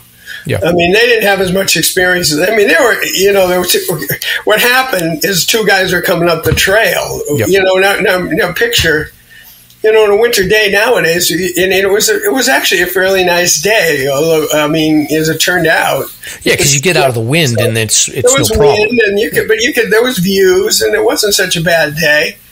And uh, my first reaction is, it's me and this guy. This isn't going to be easy. I mean, I was very connected. I felt very connected to him. Like I'm going to help this guy. I yeah. got out my extra gloves. I get. I had a, a vest I put on, and I put on some more clothes, and. Um, but what happened was there were two guys coming up the trail and uh, on their way to the top, and they'd spent the night in Hermit Lake. Their names are Chris and Tom, um, and um, and that sure made made me excited because I was thinking, man, this is not going to be easy to get this guy down by myself. Oh yeah, I bet. Uh, and and uh, um, so I kind of left. I, I kind of left Ali for a minute because I didn't want to explain what was going on to these two guys in front of him. I just went down and told them, and it was perfect because one guy was going to go down. And I said, I said, "You go down and get help, and and the other guy stay with me." And uh, and I thought it was important to write a message, and I tried to write it up with some toilet paper. That didn't work too good. The wind's howling, you know. It was yeah. like up there, and, uh, and it, it, it, it's sort of an interesting aspect of the story. This guy Chris takes out a little Bible, which I which I gave afterwards. He let me keep it. I wrote a note on there. I mean, I knew the caretaker down at. Um, at Tuckerman's Ravine was was a guy named Joe Gill. So I wrote a message to Joe, you know, dead guy, and I wrote it on there. I made an assumption these guys didn't have crampons or what were they doing up there, but they did, as it turned out. I mean, mm-hmm. they, you know, they had lost them; the crampons were ripped off um, uh, somewhere, and uh, so um, anyway, uh, Chris went down, and Tom and I were uh, we're, we're, we're going to get this guy down. And I, I never had any doubt we'd get him down. And maybe that's just the confidence that comes with experience. I mean, I actually remember that once where I was with with with uh, Ali and helping him down. It's kind of a positive experience. I was kind of t- tested, and enjoying myself, and doing my doing my doing my my best. And you know, it was a beautiful day, and the wind's howling, and and uh, so um, you know, but I think of it as sort of the culmination of, of, years of experience, and you know, I was confident that I would be able, we would be able to do that. But yeah. Uh, and you're in your prime at this point, like you've been you've been doing big mountains for well, 10, 15 I was years. slightly past my prime. I, well, I got married in 1981, and it's all downhill to, from there, right? It's sort of a joke with my wife. I used to refer to like the late seventies as the glory years, right? And uh, this is before we had children, and uh, you know I've been blessed with good health, and I'm you know I'm I'm 74 years old now. I got up I got up. Uh, I got I, I, at least I'm under the book time, getting up to the Lake of the Clouds. I'm blessed. Pretty good. I'm blessed to be able to do that, and uh, yeah. you know I've got good health, and. Yeah. Um, but uh, yeah, that was a period where you know I was I had done a lot of serious mountaineering at that point. Yeah. No, uh, there came a point where um, you know there's three of you. You're you're you're helping with Ali. Um, now you could have just very easily just kept going down to Hermit Lake and, and you know relied on Joe to get the get on the radio and, and you know get some rescuers up there to get to to Ken. But you made the decision to go back up. Well, what happened was, um, um, you know, the, the uh, when when when Chris Hardiman got down to the down to Tuckerman's, they radioed up to the you know, they uh, we had radios back then. They still have radios, but uh, but they radioed up to the Mount Washington Observatory, and a guy named Albie Pokrobe was an experienced guy, and they he came down looking for Ken. He came down from the summit, and he somehow missed him. He didn't find him on the first take. And so at some point, we're going down the mountain, and two guys came up, and it wasn't actually Joe. I guess I, I thought it was Joe, but I, when I reread the account, Joe must have been on his day off. It was Peter Crane, who's well known up there. He, worked, he, he was the he's historian for the Mount Washington Observatory. I think he was working with Joe. and Peter Crane, and then there was an um, who was the other guy? Was it there was a guy? There were a couple of guys climbing up there I think it was was it Chris Hebert, but the, the other guy who um, was a pretty experienced climber who was with them, and they came up and they and when they, they, anyway they showed up with a litter and they're going to take they're going to take um, get we were at that point we were getting down below tree line and they were going to take them down. And you know it was starting to look like we had the situation under control at least as far as for Ali and uh, but and meanwhile, Albie hadn't found they hadn't found Ken Hokenson, so they asked if I would go up and help him identify where he was. Yeah, well, I can't say I was too thrilled about turning around, yeah, I but I did at first. But um, at some point, I noticed I had a frostbit thumb, and I just said, "I, I think I'm, I think I'm going to go down." And uh, but they did eventually. Uh, those two guys plus Albie, they did find uh, Hokenson's body, and they stayed up there they sat up there for a long time with him while there was a rescue. You know, they, they brought up uh, some mountain rescue service guys uh, from uh, you know the Conway. They, they came up on a on a snowcat up to the auto road and came across. It's not that far across, you know, from, to the Alpine Garden from the auto road. Um, and but you know they got him down in the middle of the night. You know, it wasn't. Uh, you know, they were up there after dark. Yeah, and then you so you had to did you go to the hospital right afterwards when you got down or did well you- I went down and I went into the uh, I went into the uh, the office there. This is a funny thing because Tom, you know, I'd been around AMC and I kind of knew kind of how they were organized, but it, it was a touching part of the story when Tom and Chris said that they got to the bottom and they just got in their car and kind of drove home. Yeah. well, they didn't know, like, oh, check in over at the office, and you know, you know what I'm saying.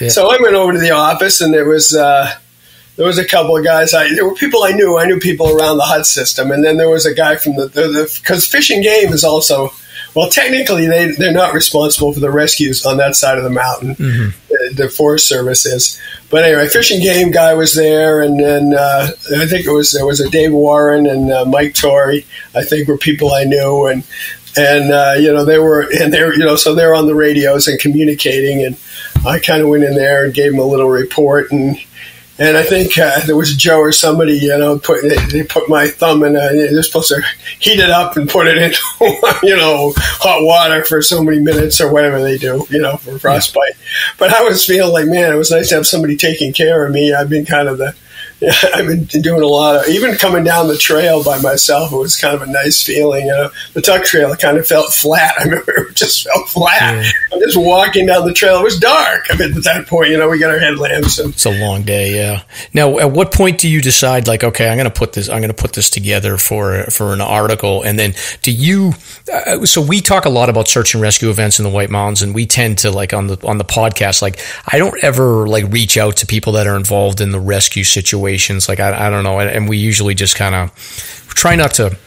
I used to be more judgmental about things, and you know, you would be kind of like, "Oh, you know, that would never happen to me." But the more I've sort of looked at search and rescue situations, it's like it yeah. can happen to anybody, and Absolutely. you know, it's more about educating. Never, the grace of God goes I. I've seen that too on Facebook, where people are quick to condemn, and, yeah. and you know, we get any one of us can make a mistake at any yeah. time, and and uh, you know, even yesterday Yes. Yeah, but do you have any? Is is there any qualms? Yeah, is there any qualms about like, okay, you know, uh, maybe this is too traumatic for people to talk talk about it? Was that not really a concern back then? Well, I don't know. I reached out to the people and they said they would. They do said it. yeah. So and, and, Ali said he would do it. I mean, the next day, I went back to the hot. I mean, this was pretty uh, for me. I was pretty, you know, I don't know, traumatized. Yeah, this was just a total life experience. You know, oh, like yeah. you can't think about anything else. I bet. And uh, my wife uh, and, and, I drove up to the uh, the hospital in Gorham, and I went and visited, uh, you know, Ali in the in the in you know in the, in the hospital as they were taking care of him and um, unfortunately, I've lost, I lost contact after him. Although since I've talked to you, I've been trying to track him down. I started oh, yeah. googling last night, and I found a phone number. I called. I left a message. Um, so uh, um, if, if, if, if, what I found out is right, he's still in Maine. Uh, oh, But um, maybe I'll maybe I'll connect with him at some point. Then that would be interesting. But I don't know. I mean, I suppose there is a sensitivity to that. I do feel, you know, as someone who involved with Appalachia, I mean, there's a lot of good stories to be told. And um, I think, um, in fact, in that new edition of Appalachia, there's there's two stories in there that I'm trying to I'm spacing out what they are right now. But they're they're a rescue, and I've been encouraging the author that we should have more major stories around the, we do have the accident reports in there, which people look at, and they, but but to have more personalized stories. So I'll tell you, I was I've been doing this hut naturalist thing, and um, two years ago, I was up at Lake of the Clouds, and um, just about this. Well, it was the end of June, and um, um, somebody had died of hypothermia on the ridge. Right. Yep. Two days yeah. before. 2 mm-hmm. days before. Um, and uh, later, and people were just buzzing about it. I mean, obviously, a death in the mountains, especially in the summertime. Yeah, yeah, because that was the um, that was like the day of the uh, Mount Washington road race that happened that day too, and that was a it was. Oh, a, is that right? It was just extremely cold. I'm assuming it's the. It was the rain. June. It was yeah. extreme rain. Yeah. It was rain and cold, and you know I'm up at Lake of the Clouds even yesterday, and they were talking about these severe thunderstorms, and you know, is it a good idea to cross the ridge, you know, over to Madison, or mm-hmm. from Madison to Lakes? I mean, you know, um, you know, you're really exposed out there if the weather. And they had, you know, they did have some bad thunderstorms, uh, but there weren't till last night. So um, you have to be really conscious of this. But that particular incident with this um, man who died in June 2023 um, was written up in one of the magazines. Oh, I, I, I, forget which one.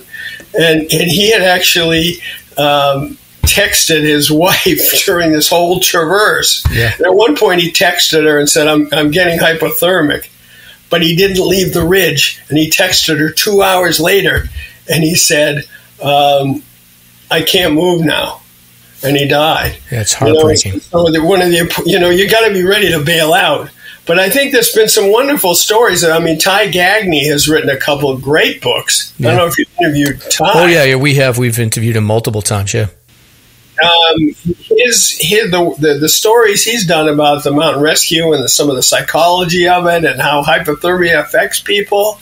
Uh, where you'll find me, and the other one is what's the name of the other the one? Last Traverse. The Last Traverse is yep. probably the Last Traverse might be a little more identifiable for the average hiker because it yeah. was it was two kind of regular guys. They were they were Concord coach bus drivers, and one mm-hmm. one of them had a tremendous amount of experience and yet you know he didn't quite anticipate the forecast or, or whatever. So it's definitely true. This can happen to anybody. I mean yesterday i'm coming down and it did start to rain as i was coming down the jewell trail. And you know i'm just being really really cautious about where i step. I mean you know it doesn't take much. Um, and i've been lucky. And I've had I've had some close calls. I, I, wrote up some of my own personal close calls for another Appalachia story called "Running yeah, we might have to have you. I think I feel like I got to have you back probably about ten times to go through some of this stuff because there's, there's, some good stories. But one thing I did want to ask you about is like the the main reason why I got this uh, this version of the Summer '84 book is I was researching Michael Miller who had gone missing in um, November or October of '83. This was in Franconia, and he was never located. And we had talked about this a little bit before we started recording. So you said you were on that search. Well, it was fascinating. Again, they didn't have the infrastructure for search and rescue. Yep. But I had found out about it, and I went over and volunteered one day. And we were up on the, you know, up on the summit. I was with a fish cop, and I introduced myself, said I work, you know, they they were, you know, they were you know, now with this, with the, with the, like the PEMI search and rescue, when those people show up, they know they're people that are that are experienced and prepared. But I think in this particular case, it was just people were showing up. Or at one point, they had scouts doing a traverse, and I said to the fish cop, I said, you know, they're in an area with a lot of rocks, and I don't know if that's a good place. They, they had to make judgments about that. Um, so I had to introduce myself and say, you know, I used to work for the AMC, and so that I had some experience. But we were we were up looking up near up near the summit cone of Lafayette, like going into the sort of the krummholz along the along the way, and um, um, yeah, I didn't remember that name of that person, and I, to my recollection, it, it, was funny you brought it up because I, I had never seen anything about that. That would be a good story for somebody to write about. The, the body was never found because they were lo- actually looking low down early on. They were looking below. Um, like the bridle path, but you know, yeah. there's a whole uh, slope there between where the Greenleaf Trail is and the bridle path. They were down looking there, and then then somebody then they got a report that they somebody had seen them higher up. So all of a sudden, we were looking up higher, you know, up on you know, kind of crawling around in the krummholz. So I wonder if it was a situation similar to that young lady, that tra- tragic story last year, that young lady who died. Yeah, coming uh, down Lafayette Brook. You know, you know, people get coming down that trail and they, they miss that turn. Yep, miss that turn and they they end up over over into that Lafayette Brook drainage. Um, my guess is that's where he ended up over there somewhere. Yeah, yeah. But it's, I, I, I, couldn't recall that they had never found the body, but I was interested that you yeah, you, no, you, have been doing more research on it. Yeah, yeah, and I did uh, I did put a message out on Reddit. There's an unresolved um, mystery thing, and some of his family members chimed in about it because I did a summary on it, and uh, you know they did this is some interesting tidbits. They said like he had a 35 millimeter camera on him, so you know you could go out there with a magnet and look around, see what you could pick up, and you know who knows, but it's it's tough to tough to know. I mean, it's yeah, literally a needle with a haystack in a haystack. Yeah, now especially, you know, so you got us. That's so it's been what 17, 40 years. Yeah, yeah, 40, 40 years. Yeah. Um, But uh, yeah, no, interesting, interesting um, story from '83, Doug. But I did, I have you for a few more minutes, and I wanted to touch on a couple of other topics. Uh, maybe not all specific to hiking, but I feel like you know we do general sort of New Hampshire topics as well. So one of the things that interested me is that you spent a number of years in the New Hampshire State Legislature. Um, do you have? Is there anything? Did you get involved at all in like search and rescue funding or funding for? Um, um, the development of trails or anything like that. Can you talk a little bit about that? Yeah, well, I mean, you know, fish and game department, you know, in different states, there's different roles, but New Hampshire Fish and Game Department is responsible for rescues. And that, you know, that and that and that that's been for a very long time. And you remember when I told you the fish and game, the fish cop, we call him the fish cop, was down at the base of uh, Pinkham Notch that day mm-hmm. in the office when I came down. Um, so they have the official responsibility for it. Um, and over time, you know, there's more and more and more rescues, and so it became a big. It's been a, historically been a big issue in the legislature. How are we going to pay for this? And the, you know, the argument is if somebody's got a, a, a snowmobile license or a ATV license or a hunting license, when they go searching for those people, um, they, uh, you know, they're at least contributing to fishing game. But uh, as more and more of these rescues, and it's phenomenal how many rescues there are. There's, there's something going on every week, or it seems, and and uh, and um, well, I, I, want to make sure I tell you a story about the yeah. top of Mount Washington. And I'll come back to that being yeah. up there yesterday and the list of people that have died up there. I oh, was yeah. about that before we're done. But um, you know, so Fish and Game was had been pushing the legislature for more money well, in New Hampshire, we're very frugal when it comes to we don't have we don't have the sales and the income tax. But eventually, after many years, they developed that the Hike Safe Card program.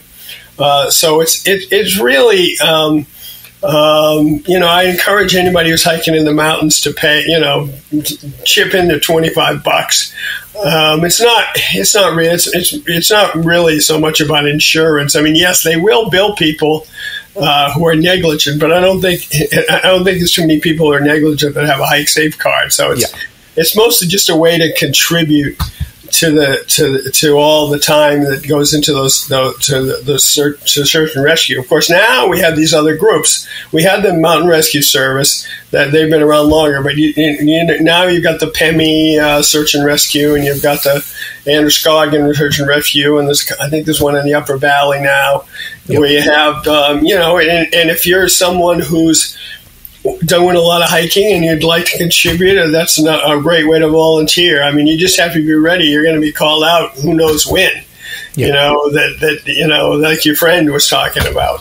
Um, I never joined those groups. I was overseas. I lived overseas for a number of years, and by the time I got back, I was getting kind of older. So I, uh, I, I, at this point, I'd be a liability in those. But you, you never know when you're gonna come on the scene yeah. uh, search and rescue. I happened on one up on Mount Cardigan where they were carrying somebody off. Yeah, and, and if you do come across one of those, like you know, it's all yeah. hands on deck. You know, they're not going to ask exactly. you. you know, yeah. they'll, be happy to take the work. Now, one other thing about the New Hampshire State Legislature. So you're involved in leadership training.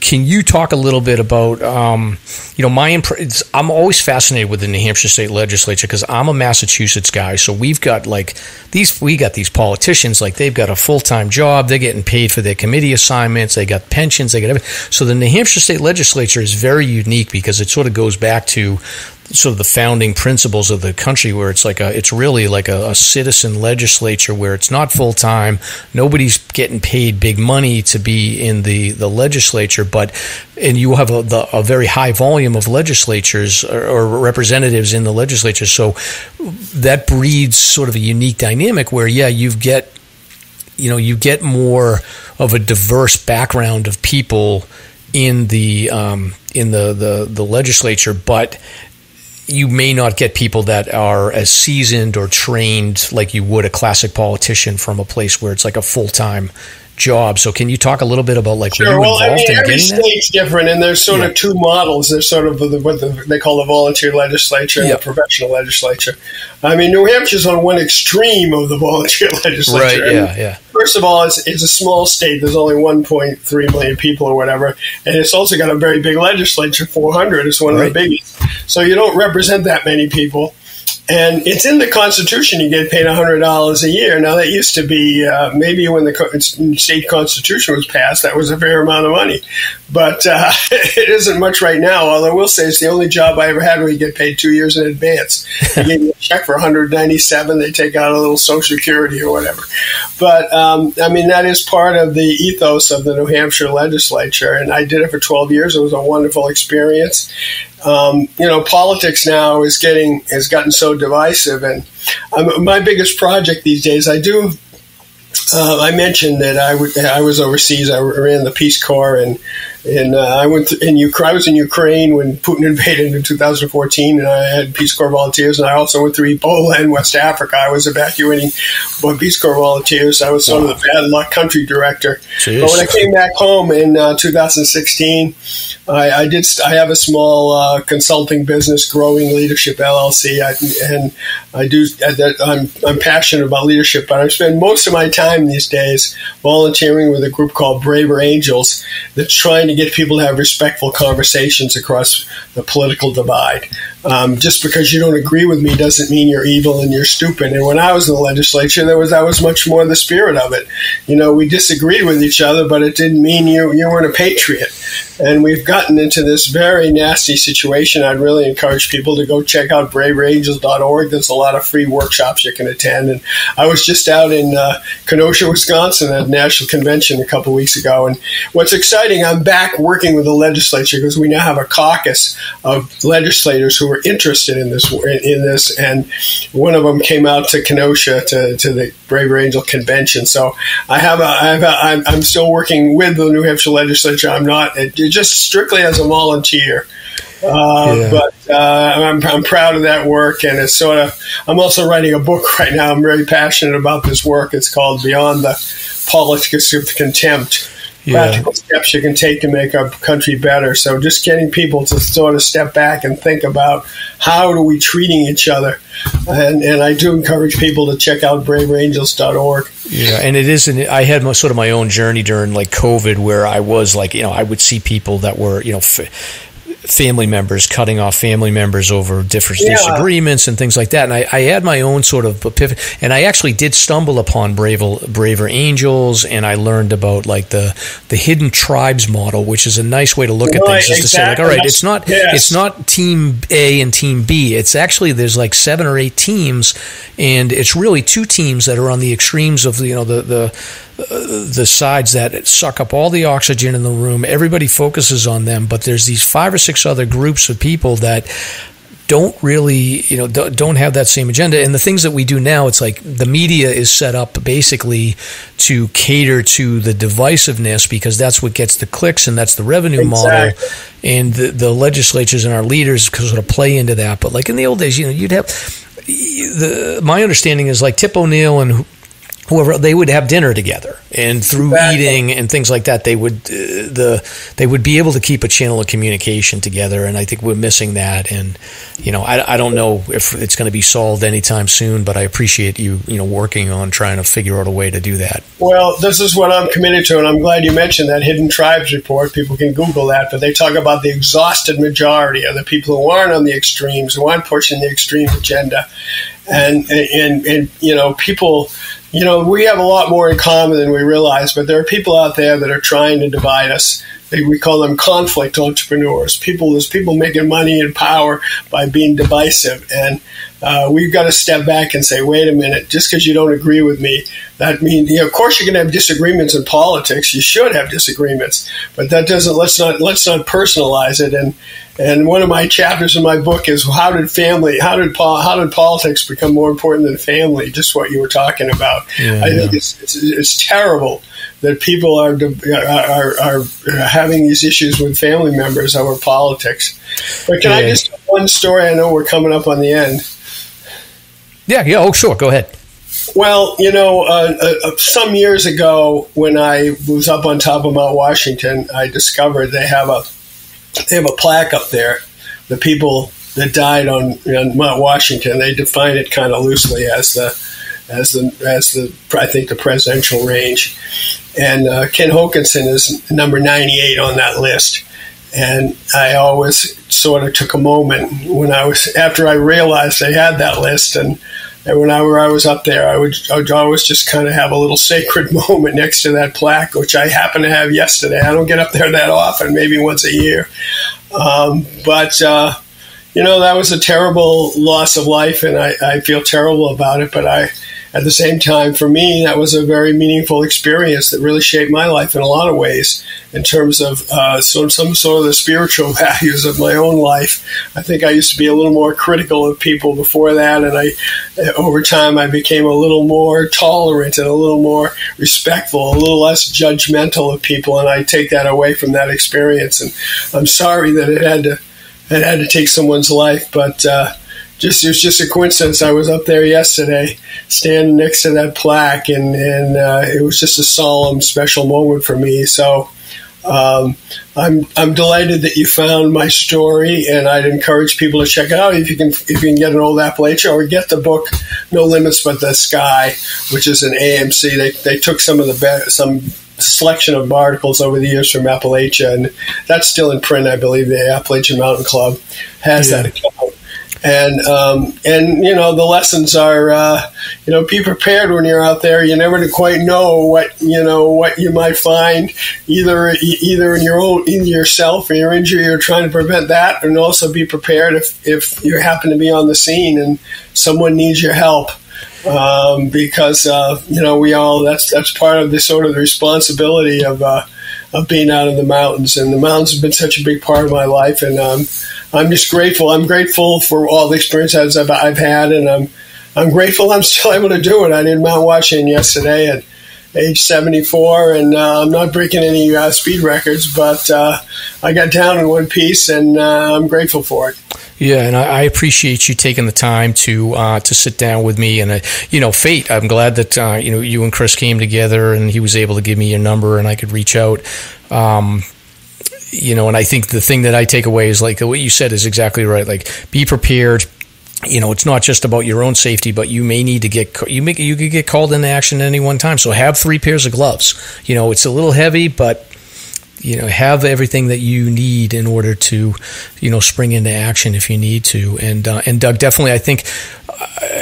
I've got a bunch of questions that I could I could cover with you, but we're limited on time. I want to talk about. I'd love to talk about like the, you're developing the trail system on Hancock and the arrow slide and all that. You know, let's stay in touch and maybe we can we can get back together and, and, and cover another topic.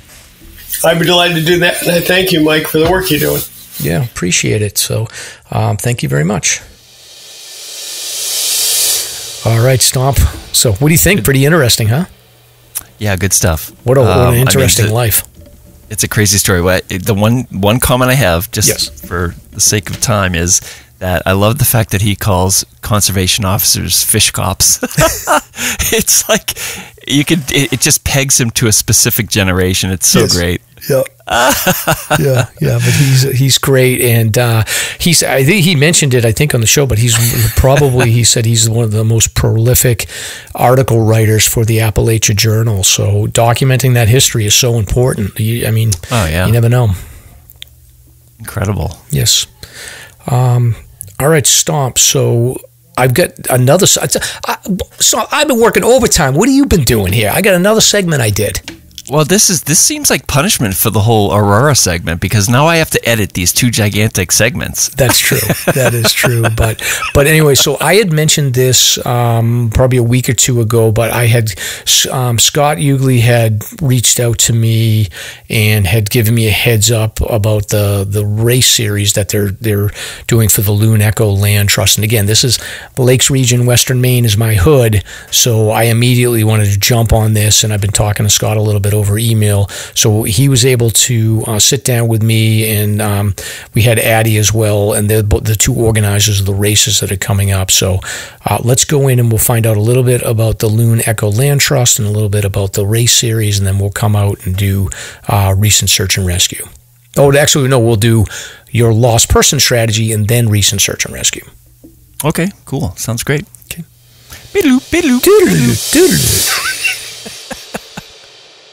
So, welcome Scott and Addie to uh, the Slasher podcast.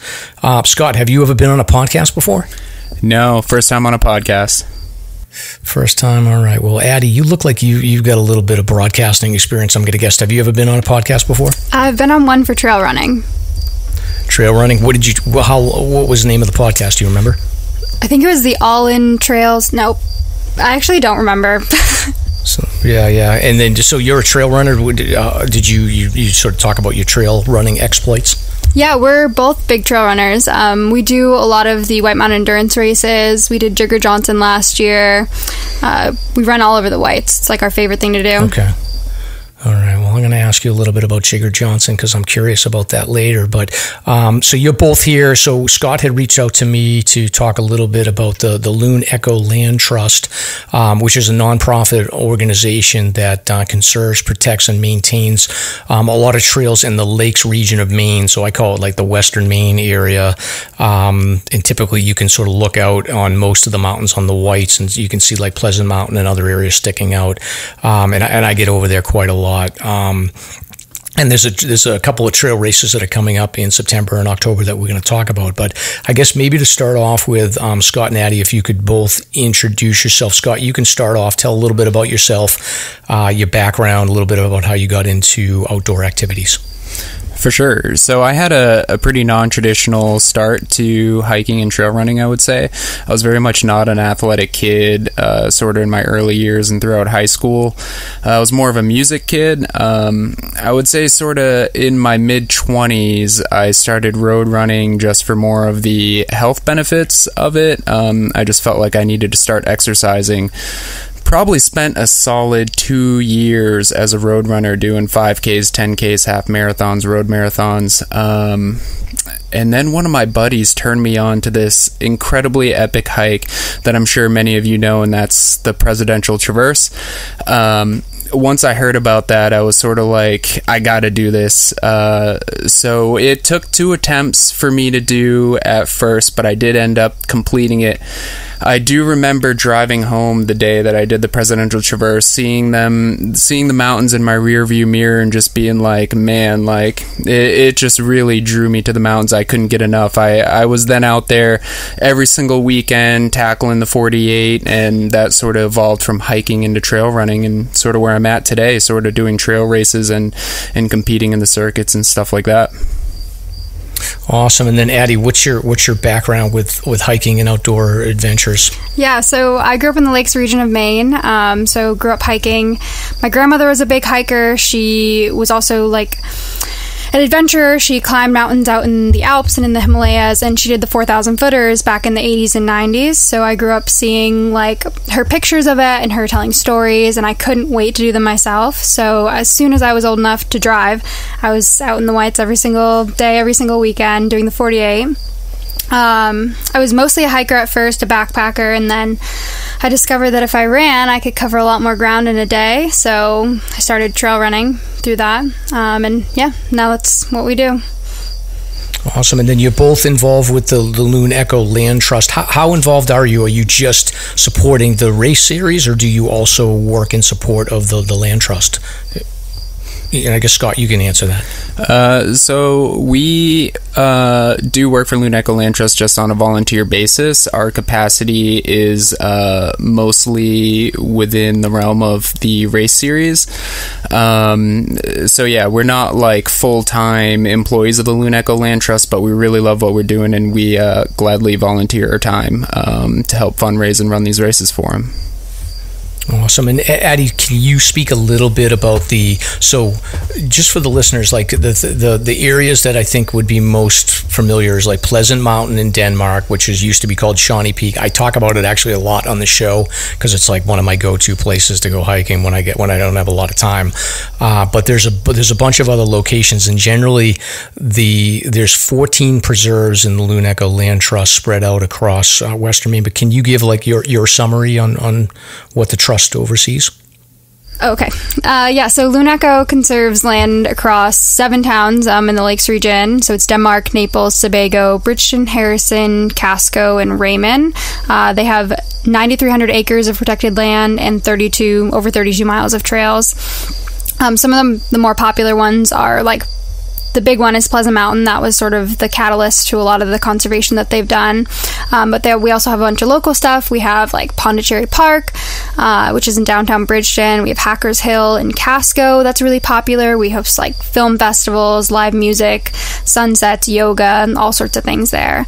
Um, there's places like Raymond Community Forest where there's even rock climbing. It's there's kind of something for everyone where if you want to, you can go out and run 20 miles on Pleasant Mountain, or you can access like a wheelchair accessible trail in Pondicherry Park. There's there's always something for everyone.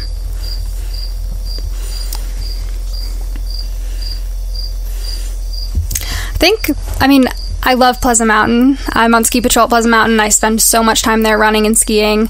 Um, but we're also big fans of Baldpate. You can you can link a surprisingly like a good run there uh, with all the loops and all the trails you can do. Yeah, and so I get I get asked a lot, like um, people will say, "Oh, you know, what is there to do? You know, what's what's sort of a hidden gem?" And I always tell people, like, a great day for me is to go to downtown Bridgton and like I'll poke around like the bookstore down there. I'll go to Rennie's. I'll go to the corn store, and then walk around that Pondicherry area.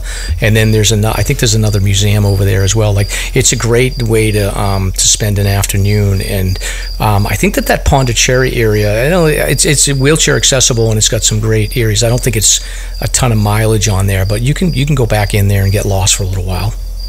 Yeah, definitely. Uh, and there's another one that's close to where we live that has recently developed a good amount of trails on it. The Crooked River Forest in Harrison. You pretty much never see people there, but it's gorgeous. It follows the river. It's super super peaceful, and Fluvial Brewery is right down the road, so you can make a day out of it as well.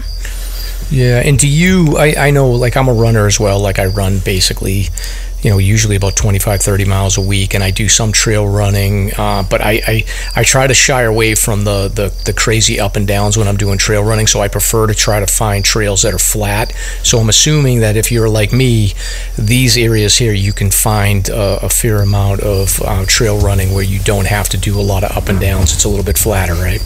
Yeah, I would say the Crooked River Forest would be really good for that, or Pondicherry Park. I know for a while they were hosting an intro to trail running series there, so that's a good spot. Baldpate is like sort of an in between, and then Pleasant would be one of the harder ones.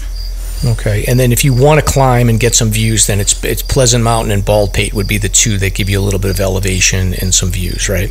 Yeah, definitely. Especially Pleasant. The network of trails on there are gorgeous. Uh, really, you could you could do a lot there. It's a small mountain, but there's a lot. Yeah, yeah. So I've uh, I got to check. I probably hiked every trail and went from every trailhead there. So for Pleasant Mountain, for people that haven't done it, essentially like you can go up. There's like a fire wardens trail or a fire trail um, that's kind of along the ski resort, the ski hills, and then there's Bald Peak, which is off of Mountain Road, which is that's my that's kind of my favorite ascent. Um, and then that brings you along a ridge where you can do blueberry picking this time of the year, and then brings you out to a fire tower. Have you guys ever climbed the fire tower? I know you're not supposed to, but I do climb it up to like to touch the bottom of it at least. I think like in high school, yeah. you can't yeah. help it. I know. Oh, I'm in my 50s now, and I still I still sneak up there. So. um, but it's good. Now, how many times have you have you climbed uh, Pleasant Mountain, Addie? Do you think? Oh, I don't know. I, I mean, between growing up here and we run it like once a week, sometimes like multiple times in the same run, probably like a hundred something times, like Yeah. a lot. I tell people too, um, Pleasant Mountain and Burnt Mountain, um, they do not give you any like you're you're on the treadmill on you know 12 degree like right away. That's the one thing that I always tell people about Pleasant Mountain and Burnt Meadow is that you know you're going up, and even though people think of these mountains as like oh they're these small little mountains over in western Maine, uh, the hiking on them can be as tough as some of the 52 with the views for sure. Yeah, and I think another one is there's actually a fastest known time route on the mountain uh, where if you do all the trails, it's called the Pleasant Mountain Quad. So if anyone's a hardcore hiker or runner, that's it's like 18 miles. It's it's a good one. Really, and it's an established route. Yeah. For okay, I'm gonna have to check that out for sure.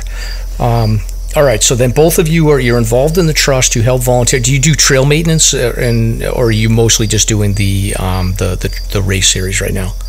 Yeah, uh, we have done some trail maintenance in conjunction with the race series. So we just had the Fluvio 5K on August 3rd, um, and that connected from Fluvio Brewing in Harrison down to the Crooked River Forest. And in order to have that course, uh, we created, we basically converted a snow, like a winter snowshoe trail into a year round trail. So we were out there many many hours weed whacking and clearing the trail um, and then we also cleared an old snowmobile trail to connect the preserve to the brewery. So a lot of trail maintenance with that and hopefully that year-round trail can stay now. Um, but with others i mean pleasant mountain is so so well used that the trails are pretty well maintained there um, they actually bring in professional trail crews for things like that Oh yeah, they like that Bald Peak. Um, tra- I mean, it's got nice stairways and it's got everything. I haven't been over on the ledges side lately. I, I I've been going mostly up Bald, but um, I know that both of those trails are really well well developed. So um, it's impressive. Now, though, there's a, there's like a partnership with private landowners for that mountain. Do you do you Scott? Do you know anything about that? Uh, so, from what I understand, Loon Echo Land Trust um, purchased uh, a lot of the land on Pleasant Mountain. Aside from the ski resort, there is some private land that sort of borders it, um, and that stuff is usually clearly marked. But in terms of all the trails, if you stay on trail at Pleasant Mountain, you're just on Loon Echo Land Trust land, which they own outright. Um, Okay. So there's usually no issues there with private land, but. Okay. And can you, Scott, t- talk about the uh, the two races that are coming up? So you have one race that is coming up in September 7th, and then there's another one on, on October 5th. Yeah, absolutely. Uh, so the first race that we have coming up is the Baldpate 10K. That's, as you said, on September 7th, first Saturday in September. Um, so that one summits Baldpate uh, three times, gives you a total elevation gain of 1,800 feet. I'd say even for a small race, it has a lot to offer. Um, anything you can think of in a trail run. It's got technical single track. It's got a steep climb. If anyone knows Pate Trail, that's a really steep trail up to the summit summit there. You got bombing down hills. I assure you, you'll get covered in mud. There'll be scenic vistas, uh, great views. Um, of course, the the next race in the series, uh, which I really like to call our premier race, that's the Pleasant Mountain Race, first Saturday in October, October fifth. Um, you will definitely be feeling the elevation gain in that one. Uh, you'll go up Bald Peak. You won't completely summit. You'll come down Fire Warden's Trail, sort of circumnavigate around the bottom of it, and then make your way up Southwest Ridge, uh, which is my personal favorite trail up the mountain. Um, then you will get to the summit, sort of go all the way across the ridge, go past Bald Peak, and uh, come down Sue's Way. Um, and uh, I'm not sure. Maybe maybe you've done Sue's Way, Mike, uh, but oh, yeah. it gets pretty rocky and technical out there. But it's a really good one. I feel like a lot of people uh, uh don't don't venture out that way, but it's one of my favorites on the mountain as well. All right, and then you're gonna have live music. There'll be food and beer that's served. Is is the is the uh, the start is right by Shawnee the the the I call I'm gonna call it Shawnee Peak. I always do. I'm never gonna get that out of my head, but it's in the parking lot of the ski area. Is that where you're starting? Yeah, correct. So it's it's not at the main lodge. It starts at the East Ski Lodge, which is just a little bit uh, further down Mountain Road uh, if you're coming from 302. Um, and and yes, you are correct. So we have a full on after party happening at the event. Uh, so we'll have live music. We'll have a food truck there. We'll have a beer garden serving beer. So, you know, hopefully it'll be a good time. Okay, and I'll make sure that I, have already put out the details on the show notes, but I'll make sure that we uh, we put them in the show notes and we'll send them out over our social as well, so people can sign up. And are you both running it, or are you going to be running around organizing everything? Uh, so we'll probably be running around like uh, chickens with our heads cut off for most of the race, just trying to make sure everything goes off um, without a hitch. Okay. Uh, and then, Addie, do you have any big races planned uh, besides these two um, coming up? I think for running, for us, both of us are going to do the Big Brad 50 miler uh, in October in Bradbury Mountain State Park in Freeport, Maine. Um, okay. Other than that, we pretty much have just been exploring trails ourselves and, and having fun out. All right. And earlier you had mentioned that you, you both did the Jigger Johnson last year. Can you talk a little bit about that experience? Uh, yeah, definitely. So uh, I was actually uh, I was a part of the inaugural 100 mile event last year, um, which uh, I don't know if you remember last year. The weather was uh, pretty wet. um, it's like you would get yeah. to an aid station, change your shoes, swap out your socks. Within being on the trail in five minutes, your feet were just like wet again. So your feet were just wet the entire time. Um, but it was it was totally epic. Um, I mean, it took me like 48 hours or so to complete the thing, but it was wow. it was an absolutely legendary race. One of the best times of my life, honestly. I would totally do it again. Wow. And how how did your feet hold up being wet all that time? You know, they actually held up pretty well. I'll have to say I did not lose a single toenail. Um, shout out to uh, Joseph Cloyd, who uh, helped me out with some foot care at an aid station, um, which, uh, you know, shout out to one of our sponsors, Squirrel's Nut Butter. Um, lather that on your feet before you put your sock back on, and it sort of keeps the water at bay and prevents you from blistering. So that I think that was really sort of like key to keeping my feet in good condition. Wow, well, that's impressive. And then, Addie, did you did you run the same distance? Uh, so I did the 100K. Um, Okay. So I started a day after Scott and actually got to run into him on the course, which was really cool. Uh, we both had glitter on our faces, so we were known as Glitter Guy and Glitter Girl. Oh, nice. um, yeah, so it took me, I think, 27 hours. Uh, so I finished three hours after Scott, and he actually like stood at the finish line and waited for me to finish. So kudos to Scott for that. What a guy! What a guy! And then Addie, well, I have you. So you're a real townie, like you know. So uh, we're in Brownfield. My father-in-law's in Brownfield, so I feel like Brownfield's like looked down upon for, for these other towns, but I don't know. I don't know for certain. But um, Naples, Harrison, Bridgton. Like I grew. Matter of fact, I grew up going to Long Lake. I've been going to Long Lake since I was 14 with my friends. Um, but this whole area here, so I need to know from you what are some hidden gems? Like if there's pl- there places to eat, places to drink. Where where do you tell the um, the people that don't know that area that well if they want to spend a day in Bridgton or Naples or Harrison? Like wh- where are you sending them? I think to start, I mean, I work in Norway, which is two towns north of Harrison, and I work at 290 Main Street, which is a pub um, right on Main Street there. And that's a great spot. That's a great spot. Not too far north. Um, if you go somewhere like Sunday River, if you go to Evans Notch or Grafton Notch, it's not too far out of the way. So that's a, a nice spot uh, in Norway. I think around town, um, I think Standard Gastropub in Bridgton is really good. I think Queen's Head is new. I haven't been there yet. uh, Scott, you work at he works at Fluvio Brewing in Harrison, so that's always a good spot. Uh, Yeah, I mean, uh, I, So, I also right, I'll should check those out. I've never been to those. I, I should also plug uh, that uh, the pub up at Pleasant Mountain Blizzards is also now open during the summer. Um, so that's also a good place to get some food, especially if you're just hiking right down the road on uh, Mountain Road there, either at Ledges or Bald Peak. You can just swing right right by Blizzards Pub and grab something.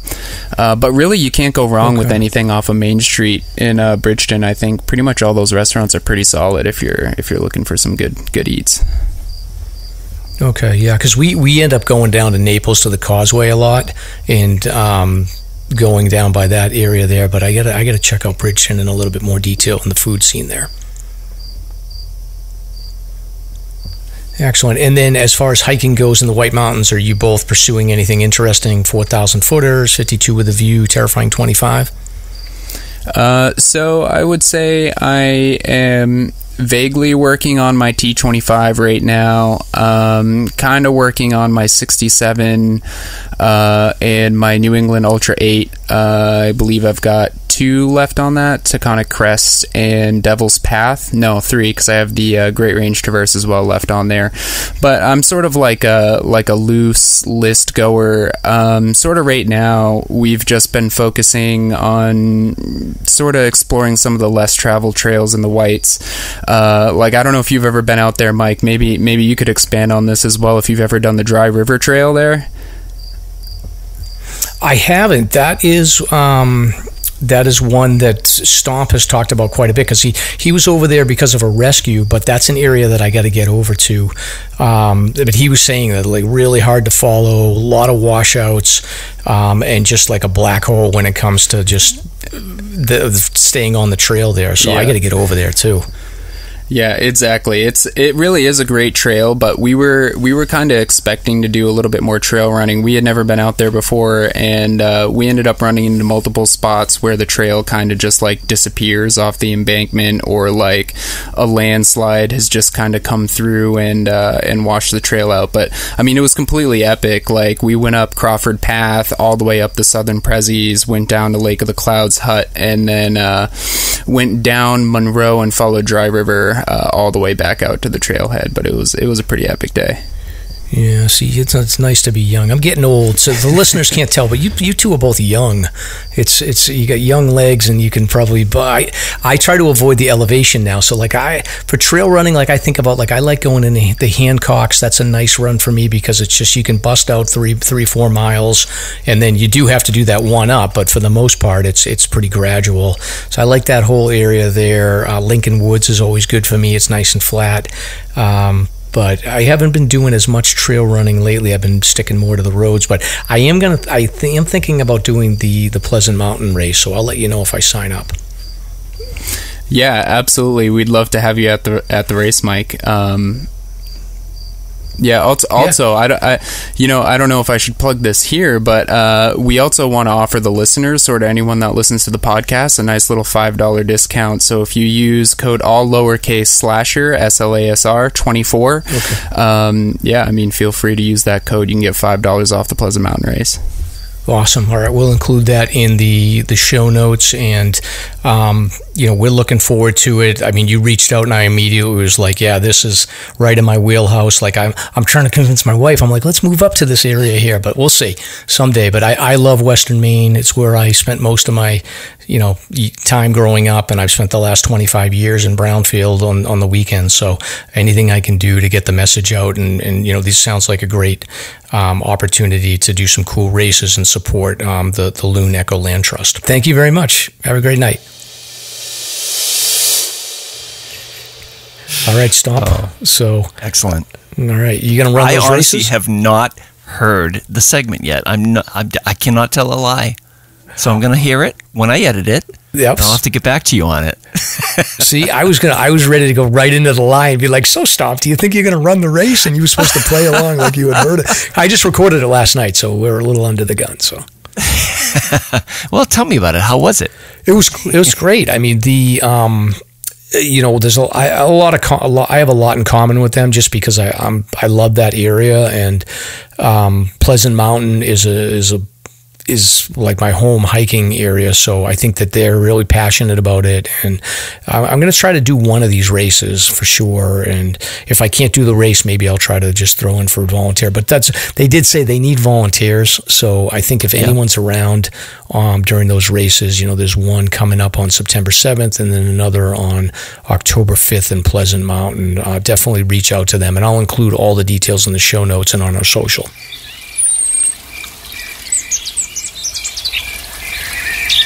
Slasher's hiking topic of the week.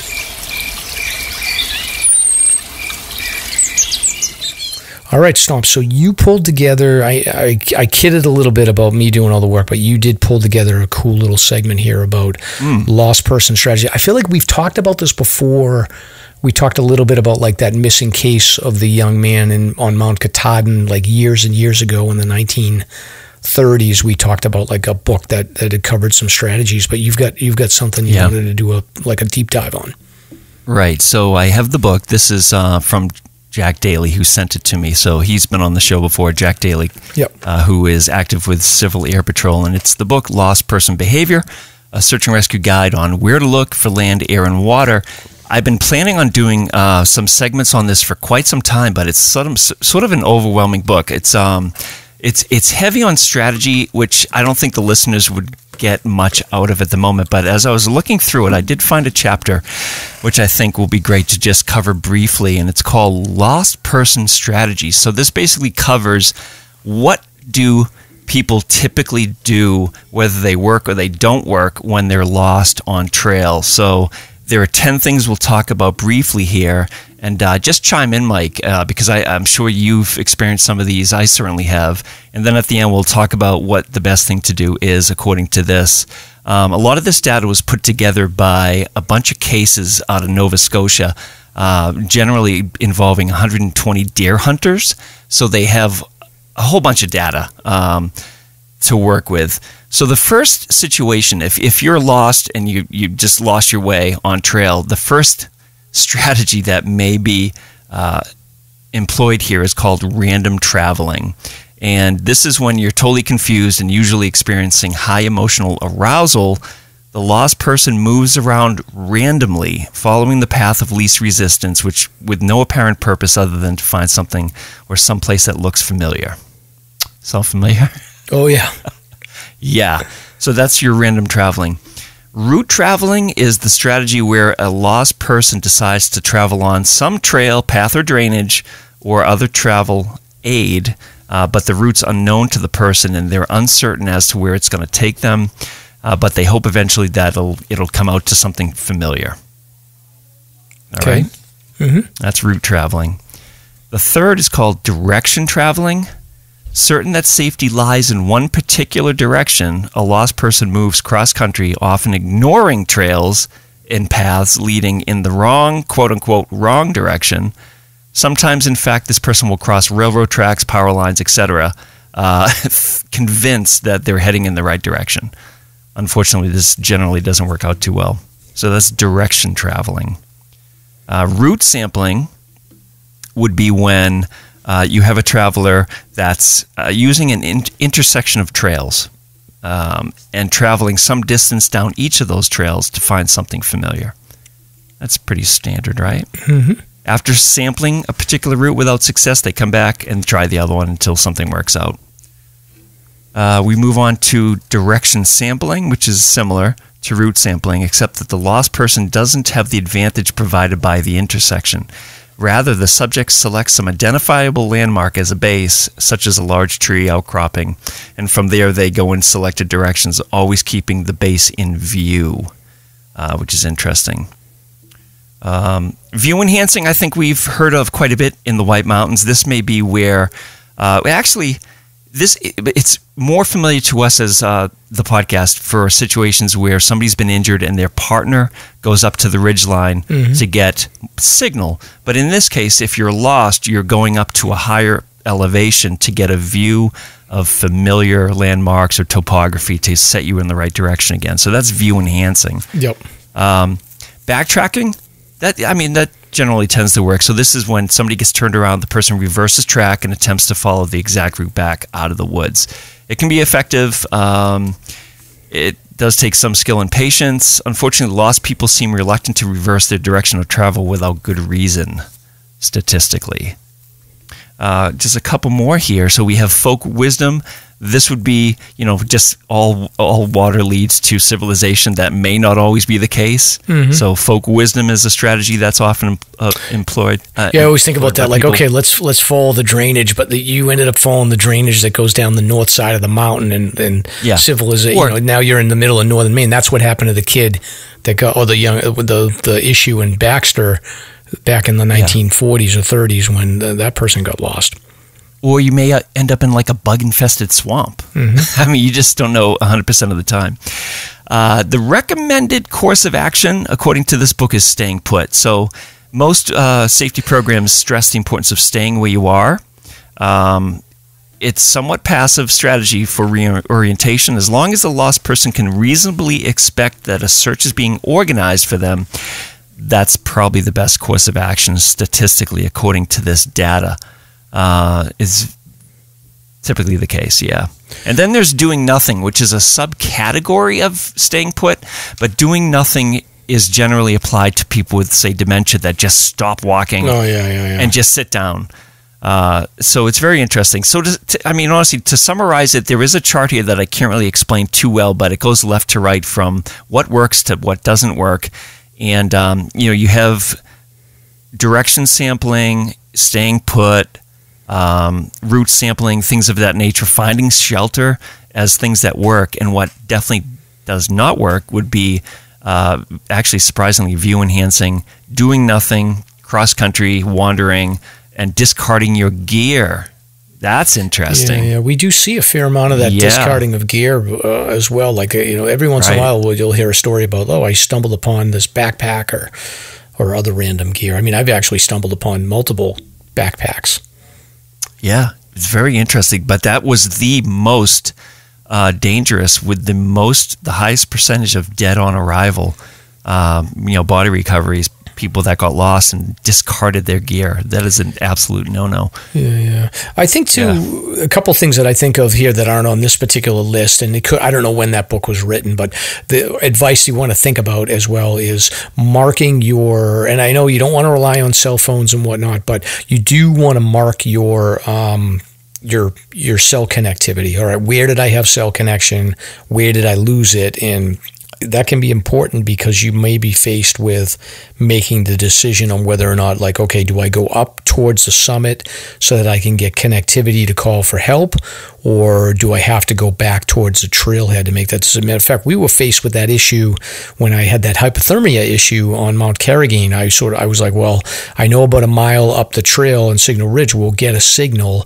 Is that better than going all the way out to uh, to Sawyer River? So I do think marking your connectivity when you can I know we like to stay off devices when we're in the in the wilderness, but it is worth it to mark your connectivity. Um, just so that you you can make a quick decision if you're if you run into a situation where you need help. Yeah, that's a great point. Yeah. So there you go. So I will uh, do some more digging into this book because it's fascinating. There there are other chapters such as this one here, Lost Person Myths and Legends. For instance, do people that are right-handed veer to the right or to the left if they're left-handed. So it's, there's a lot of neat stuff in this book, and we'll definitely uh, touch upon it again in the future. Yeah. By, by the way, Stomp, at being a left-handed person, I just want to give a yep. shout out to my fellow lefties because Tuesday was left-handed International Left-Handed Day. I didn't know you were lefty. I'm a lefty too. You are? Wow. Yes. Look at that. Swear to God. I didn't know that. That's weird. Yeah. Well, welcome. I think what are we like five percent of the population, ten percent of the population, or something? Yeah, yeah, yeah. I'm a little bit ambidextrous, but primarily left. Cheers to you, my lefty friend. Cheers. Never forget. Two two weirdos. Right, exactly. okay. Um, so Stomp, um, we talked about earlier in the show that you're you're wearing a sweatshirt, so you're not hot. But generally, this time of the year, you would be kind of sweaty, right? right. I'm always sweaty, but thank God there's a solution. Oh, wow. What a segue. Isn't it nice? Yes. So, uh, does your backpack not provide enough ventilation? Does your back sweat too much when backpacking? As you know, sweat can be extremely uncomfortable on the trails. Plus, sweat is a serious risk factor in both hot and cold climates. As your clothes get wet, your core temperature can dramatically fluctuate, resulting in hypothermia, heat exhaustion, and dehydration. Let's not forget just very uncomfortable. Today's your lucky day because we have good news for you here at Slasher. There's a piece of gear that solves the sweat and ventilation problem, making your backpack more comfortable. Vaucluse Gear's ultralight backpack ventilation frame. It weighs 15. Uh, oh, I'm sorry. It weighs less than three ounces, which is equivalent to a pair of socks, and it's an accessory that attaches to your pack size 15 liters to 45 liters. Whether hiking in hot or cold temps, the ultralight backpack ventilation frame from Vaucluse Gear is a real game changer regarding airflow and ventilation. So visit them at vauclusegear.com to order an ultralight ventilation frame today and use promo code SLASHER, S L A S R, to enjoy a $5 discount and let them know that Mike and Stop sent you.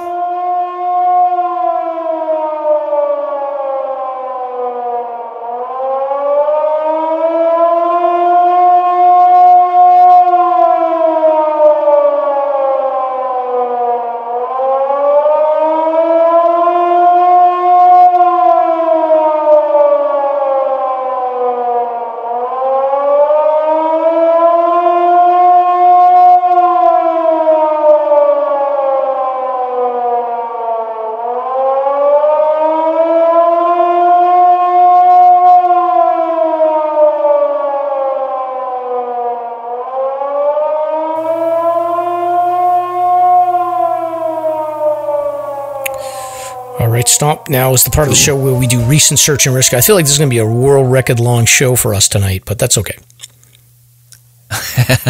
yeah, it's all good. So yeah, it's getting busy again. Yeah, yeah we have six six to go through here. So I gotta.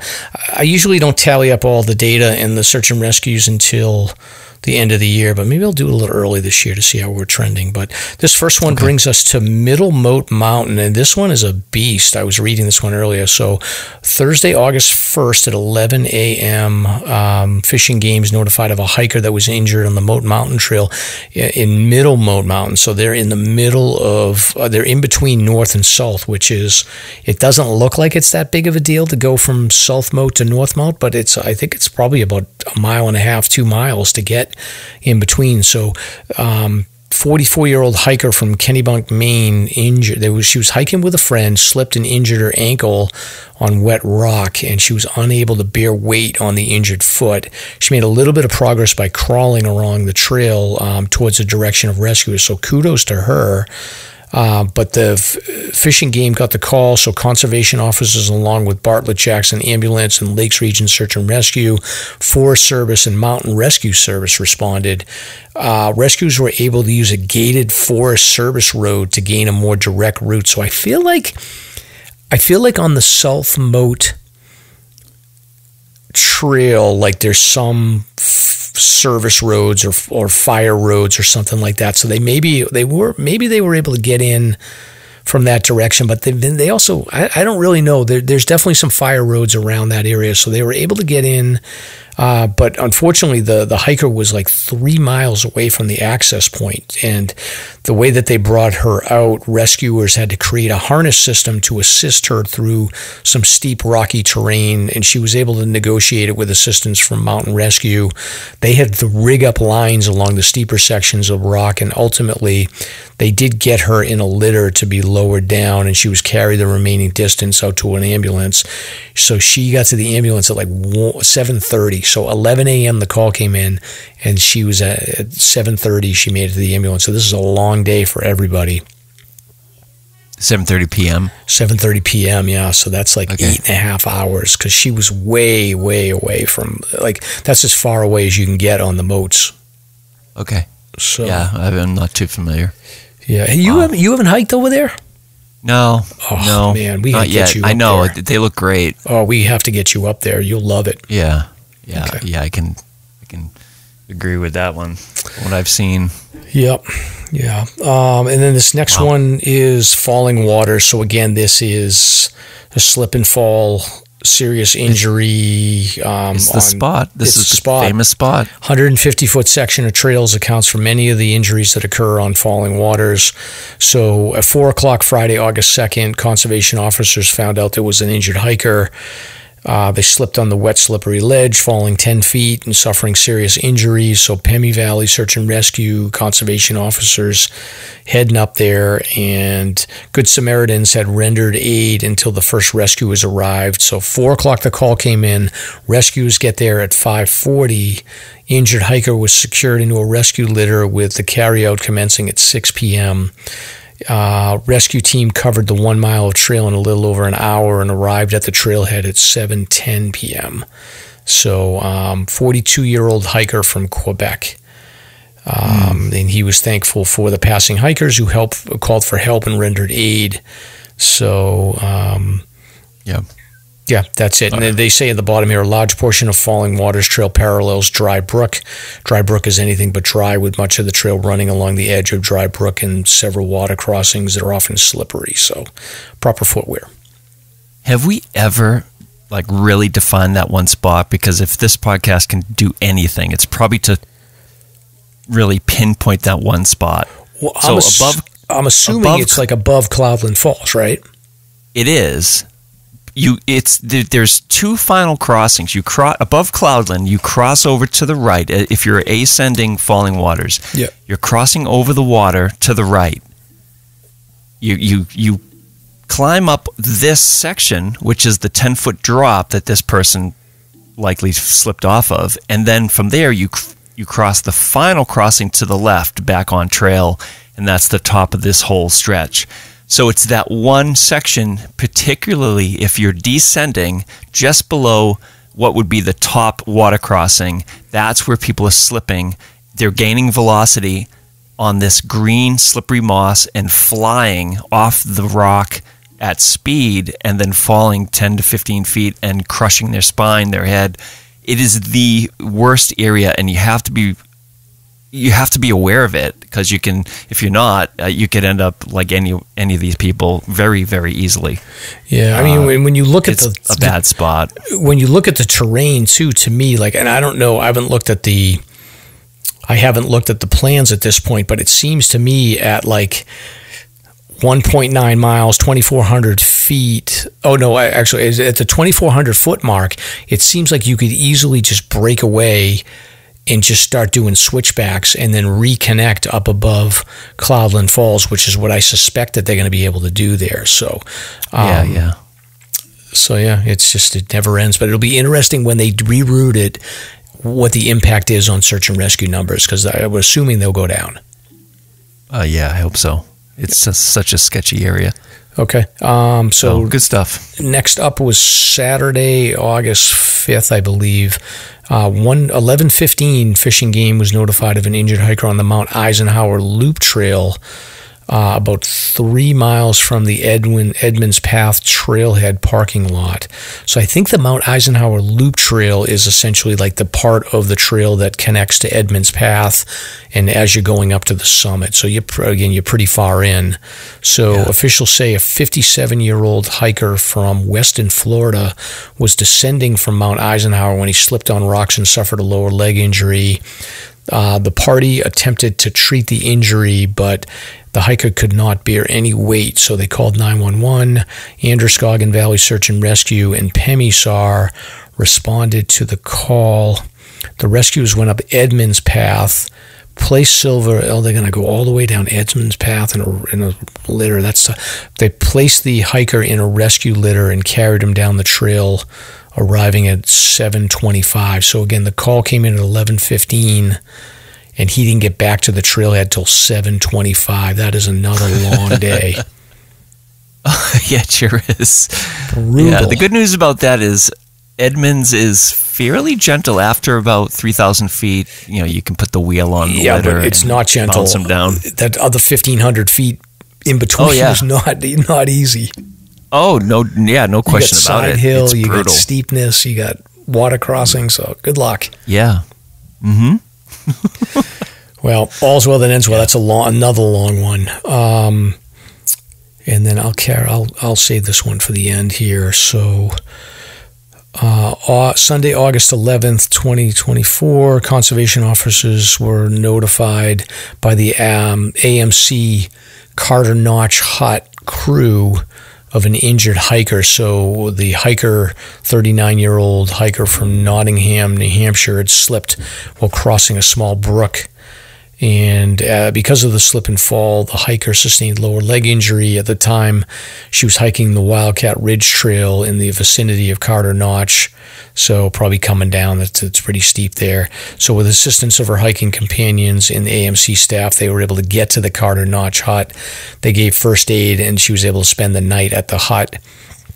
Was hoping in the morning that she'd be able to bear weight on it, but that wasn't going to happen. So, um, AMC crew called at 8.30 10 a.m., five conservation officers and 24 volunteers from the AMC and Androscoggin Valley Search and Rescue Team responded, and they got to the hiker around 11:45 and um, got her out around 4 p.m. So that's a long two-day hike, or long two days to be out on the trail, and she was able to get transported from the scene by hiking companions to get medical attention and she was an experienced hiker, well prepared, proper gear and equipment.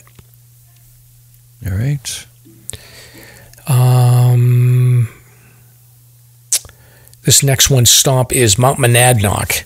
This was a trail mm-hmm. bike crash on August 13th. This, this isn't even a hiking.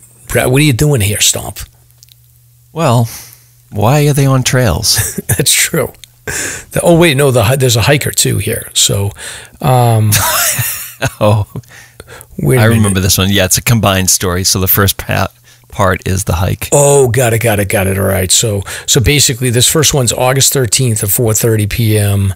Um, there was a hiker that was identified as a minor. They had an eight foot fall landing on their head, and they had other serious injuries. So the state park ranger, the, the Monadnock Park Rangers responded to the White Cross Trail and were able to stabilize the victim.